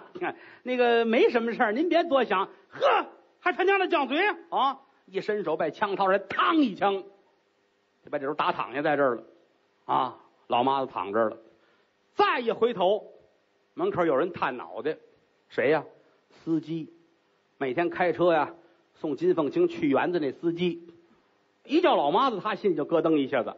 没喊他，他后边跟着，站门口看，当一枪，老妈子躺地，他跟外边，哎呦，楚玉普一听，谁呀？我进来，哎，进来了，这都都都办，您您您饶饶命，我错了啊，什么你就错了？不，这那个这那那那奶奶跟那唱戏的是我开车送去的，嘡，啊，这就叫作死啊！一枪打在这儿了，啊！再一回头，瞧这四个勤务兵直哆嗦，怎么呢？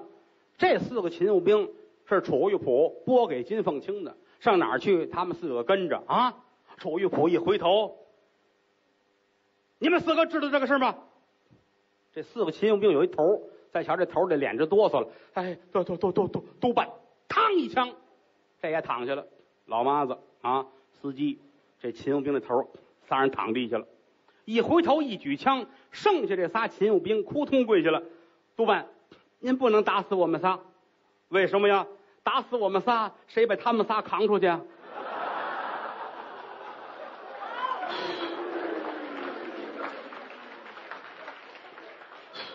对，你们说的有道理。你们仨把他们仨先扛出去，回来我得打死你们。是，快去快回。是。那还回得来吗？那个，仨人扛着死尸往外就跑。这仨人里边有一位特别喜欢刘汉臣的艺术，在来之前就好唱戏啊。自打跟着金凤清去听戏去，打心里边喜欢刘汉臣的艺术。他爱刘汉臣比金凤清爱的还厉害了。今天一听这事儿，心说坏了，我找刘老板去吧，我让他赶紧跑啊。千千万万别等着受死！料理完死尸，那两位跑了，他奔戏园子，找到了刘汉臣，把事儿一说：“您快跑吧，督办回来了啊！这事儿啊翻了案了，了不得了。”汉臣说：“怎么的？您甭管怎么着了啊！楚玉普要枪毙你！”说完，他也跑了。汉臣吓坏了啊！这做义的招谁惹谁了？这怎么办呢？这个赶紧找到赵广顺。说您瞧这事儿闹的，现如今如此怎办？怎办？如此，楚督办要枪毙我，您说怎么办？赵广顺说：“你别着急啊，这事好商量，咱们咱们想办法。在天津城，袁文慧袁三爷势力太大了，我找他去求个情。备好了东西，来到了袁公馆，把这事儿啊跟这个袁文慧一说啊，说咱们后台唱戏刘汉臣，您知道吗？汉臣我知道，唱的好啊啊！汉臣摊上点事儿啊，这个这不嘛。”楚督办呐，家有一太太爱看他唱戏啊，也就是爱看。楚督办生气了，这不闹着吗？要跟汉臣没完。哦，那没事没事，你甭管了，我去说去吧。话说的轻描淡写，袁文慧也没往心里去。可是他们走了之后，袁三爷坐着一琢磨，也不是简单的事儿。楚玉璞浑浊闷愣啊啊，土匪出身呢。我去跟他说，一个人面子小。这样吧，我把天津市市面上。这些个有头有脸的人们都聚齐了，我们一块儿去求人情去。要不是这样，刘汉臣死不了。怎么呢？那仨死尸扛出去了，楚玉璞往那一坐，一琢磨，嗨，这他娘的，这叫什么事啊？这本身她是个妓女啊，我不要她就完了吗？我打死人干什么？这是没有的事。而且他这人忘性大啊，说这事儿完了，过一小时你再问他，他就想不起来了。袁文慧带着好几十人给提醒来了。啊，袁文慧那意思呢？我把刘汉臣这条命保下来，这以后他能给我唱戏，我能指着他挣钱，想的挺好。整个天津卫有头有脸的大富商啊，这都来了啊，坐到楚玉府客厅里一说这事儿，他这个督办呐，哈，这个事儿我们大伙儿全知道了，您就当没有这事儿啊。当时这火腾楞一下就上来了，把这帮人打发走，楚玉府还得走。去哪儿啊？到江苏前线督战去。临走的时候，给天津直隶军警督察处处长叫厉大森打一电话：“你马上把这个刘汉臣给我抓来啊！这个人私通共党啊，了不起！这人抓住他，立即枪决。”说完之后，自己就走了。关于金凤清的下场是两种说法，有一种说法是在走之前把金凤清叫来。两个人三言两语之后，楚玉璞勃然大怒，拔出枪来一枪，把金凤清打死在地。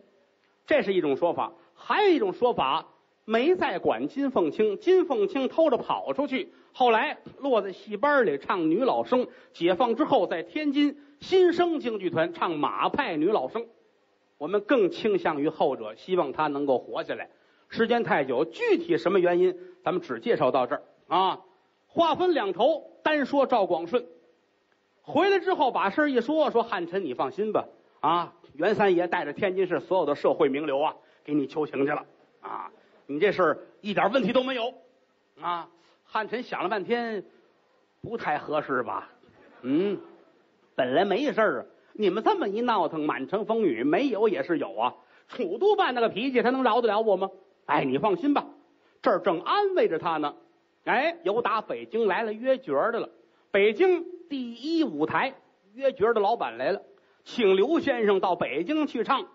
汉臣一琢磨，这是个好事儿，借着机会我躲了吧，带着高三魁赶奔北京唱戏。第一舞台，他走了时间不长，厉大森就接着电话了啊，赶紧抓刘汉臣。来到新明大戏院一找，这人没了，马上安排人追到北京。转过天来，晚上五点多钟吧。把刘汉臣和高三魁在第一舞台绳捆索绑，就抓住了，押到火车上。晚上八点的火车回了天津。回去之后，这俩人押在了督察处的大牢里边，活不见人，死不见尸，也不让人看。消息传来之后，赵广顺急了：这怎么能啊？这是啊！如果说真有个三长两短，怎么办呢？有心瞒着老太太，一琢磨，不是瞒着的事儿。跟老太太实说吧，说您别着急，这个事儿出哪门进哪门，一五一十一讲，老太太是半晌无语。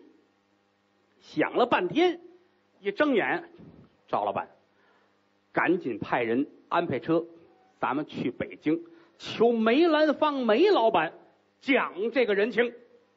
简短截说，来到北京，求到了三位：梅兰芳、于淑妍、杨小楼这三位。联名写信，写给谁呀？写给大军阀张宗昌，因为想当初楚玉璞在张宗昌的手下，他待过一段时间，希望念这种旧情能把刘汉臣保下来。而且赵广顺回过头来，通过李景林的关系找到了海军总司令毕树成，让毕树成也写了一封求情的信。两封信同时送到了楚玉璞的手中，楚玉璞接过信来，勃然大怒。他不认识字儿啊，找人给念念吧。有人给念，一说这事儿，老楚这火更大了。原来以为只是天津人知道，现在这个事儿是无人不知、无人不晓啊。吩咐人给这两位张督办、毕司令写回信，回信上写：“对不起，您信来晚了，人已经枪决了。”回完信之后，拿起电话来。又给厉大森打电话，不能再耽误了，马上枪决。一九二七年一月十八号夜里十一点钟，在天津军警督察处，把这两位押出来，吩咐人把绳子解开了。厉大森往这一坐，是满面带笑。刘老板、高老板，哈哈哈哈哈！这些日子委屈您二位了。刘汉臣呐，欲哭无泪呀。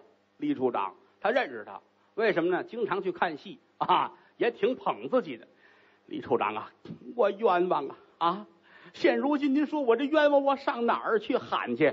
哎，刘老板，别多想了啊！现如今官司完结，楚督办这气儿消了，没事了。啊、哈 哈你们哥俩把心放在肚子里啊，是真的吗？我能骗你吗？啊、哈哈来呀，把京胡拿过来吧。李大森喜欢京剧，没事自己也拉一段啊。衙门里边预备了京胡，把京胡拿过来，递给了高三奎。高老板，知道您拉弦拉的不错，来来来，您拉一段，让刘老板唱一段啊啊！我爱听您二位的，唱完了您就家走，没事哎呀，您您真要听一段，我们真没事了吗？没事了，怎么了，高老板？来吧，定弦吧。哎，好，好，太好了，我真没想到啊，这定弦啊，拉了一个过门。刘汉臣张嘴要唱，嘎嘣，弦折了啊！刘汉臣、高三坤俩人对视一眼，唱戏的忌讳这，尤其在这种地方，中国人的忌讳啊特别的重。怎么弦儿折了呢？高三坤就傻了，拿眼一看，李大森，李大森乐了，嗨，有日子没使了啊！这个可能是我那天弄的没弄好，来来来，接上，接上，接上，哎，好。把弦儿又接上，刚拉了一过门，嘎嘣又折了。简短截说，连续三次弦儿都折了。高三魁比刘汉臣世故的多呀，把弦儿一扔，扑通跪下了。李处长，是不是要我们俩死啊？事到如今，您可别瞒着我们，让我们死个明白啊！怎么呢？连续三次弦儿折呀，这叫不祥之兆啊！李大三乐了，伸双手相称。起来，起来！起来 您二位特意的多想了。好了，算了吧，不唱了，没别的。刘老板、高老板，您二位这些日子受苦了，照顾不周，兄弟是多有得罪。两位回家吧，走吧。李处长啊，真放我们走？真放您走？回去吧。好，我这多谢了。俩人一转身往外就走，走出五米去，李大森一伸手，把枪掏出来，嘡嘡。两枪把刘汉臣、高三奎是打死在地。李大森呢，这是够朋友交情。怎么呢？这个人呐，真正说死了，挨着一枪躺下不可怕。什么可怕呢？死之前告诉你这最可怕。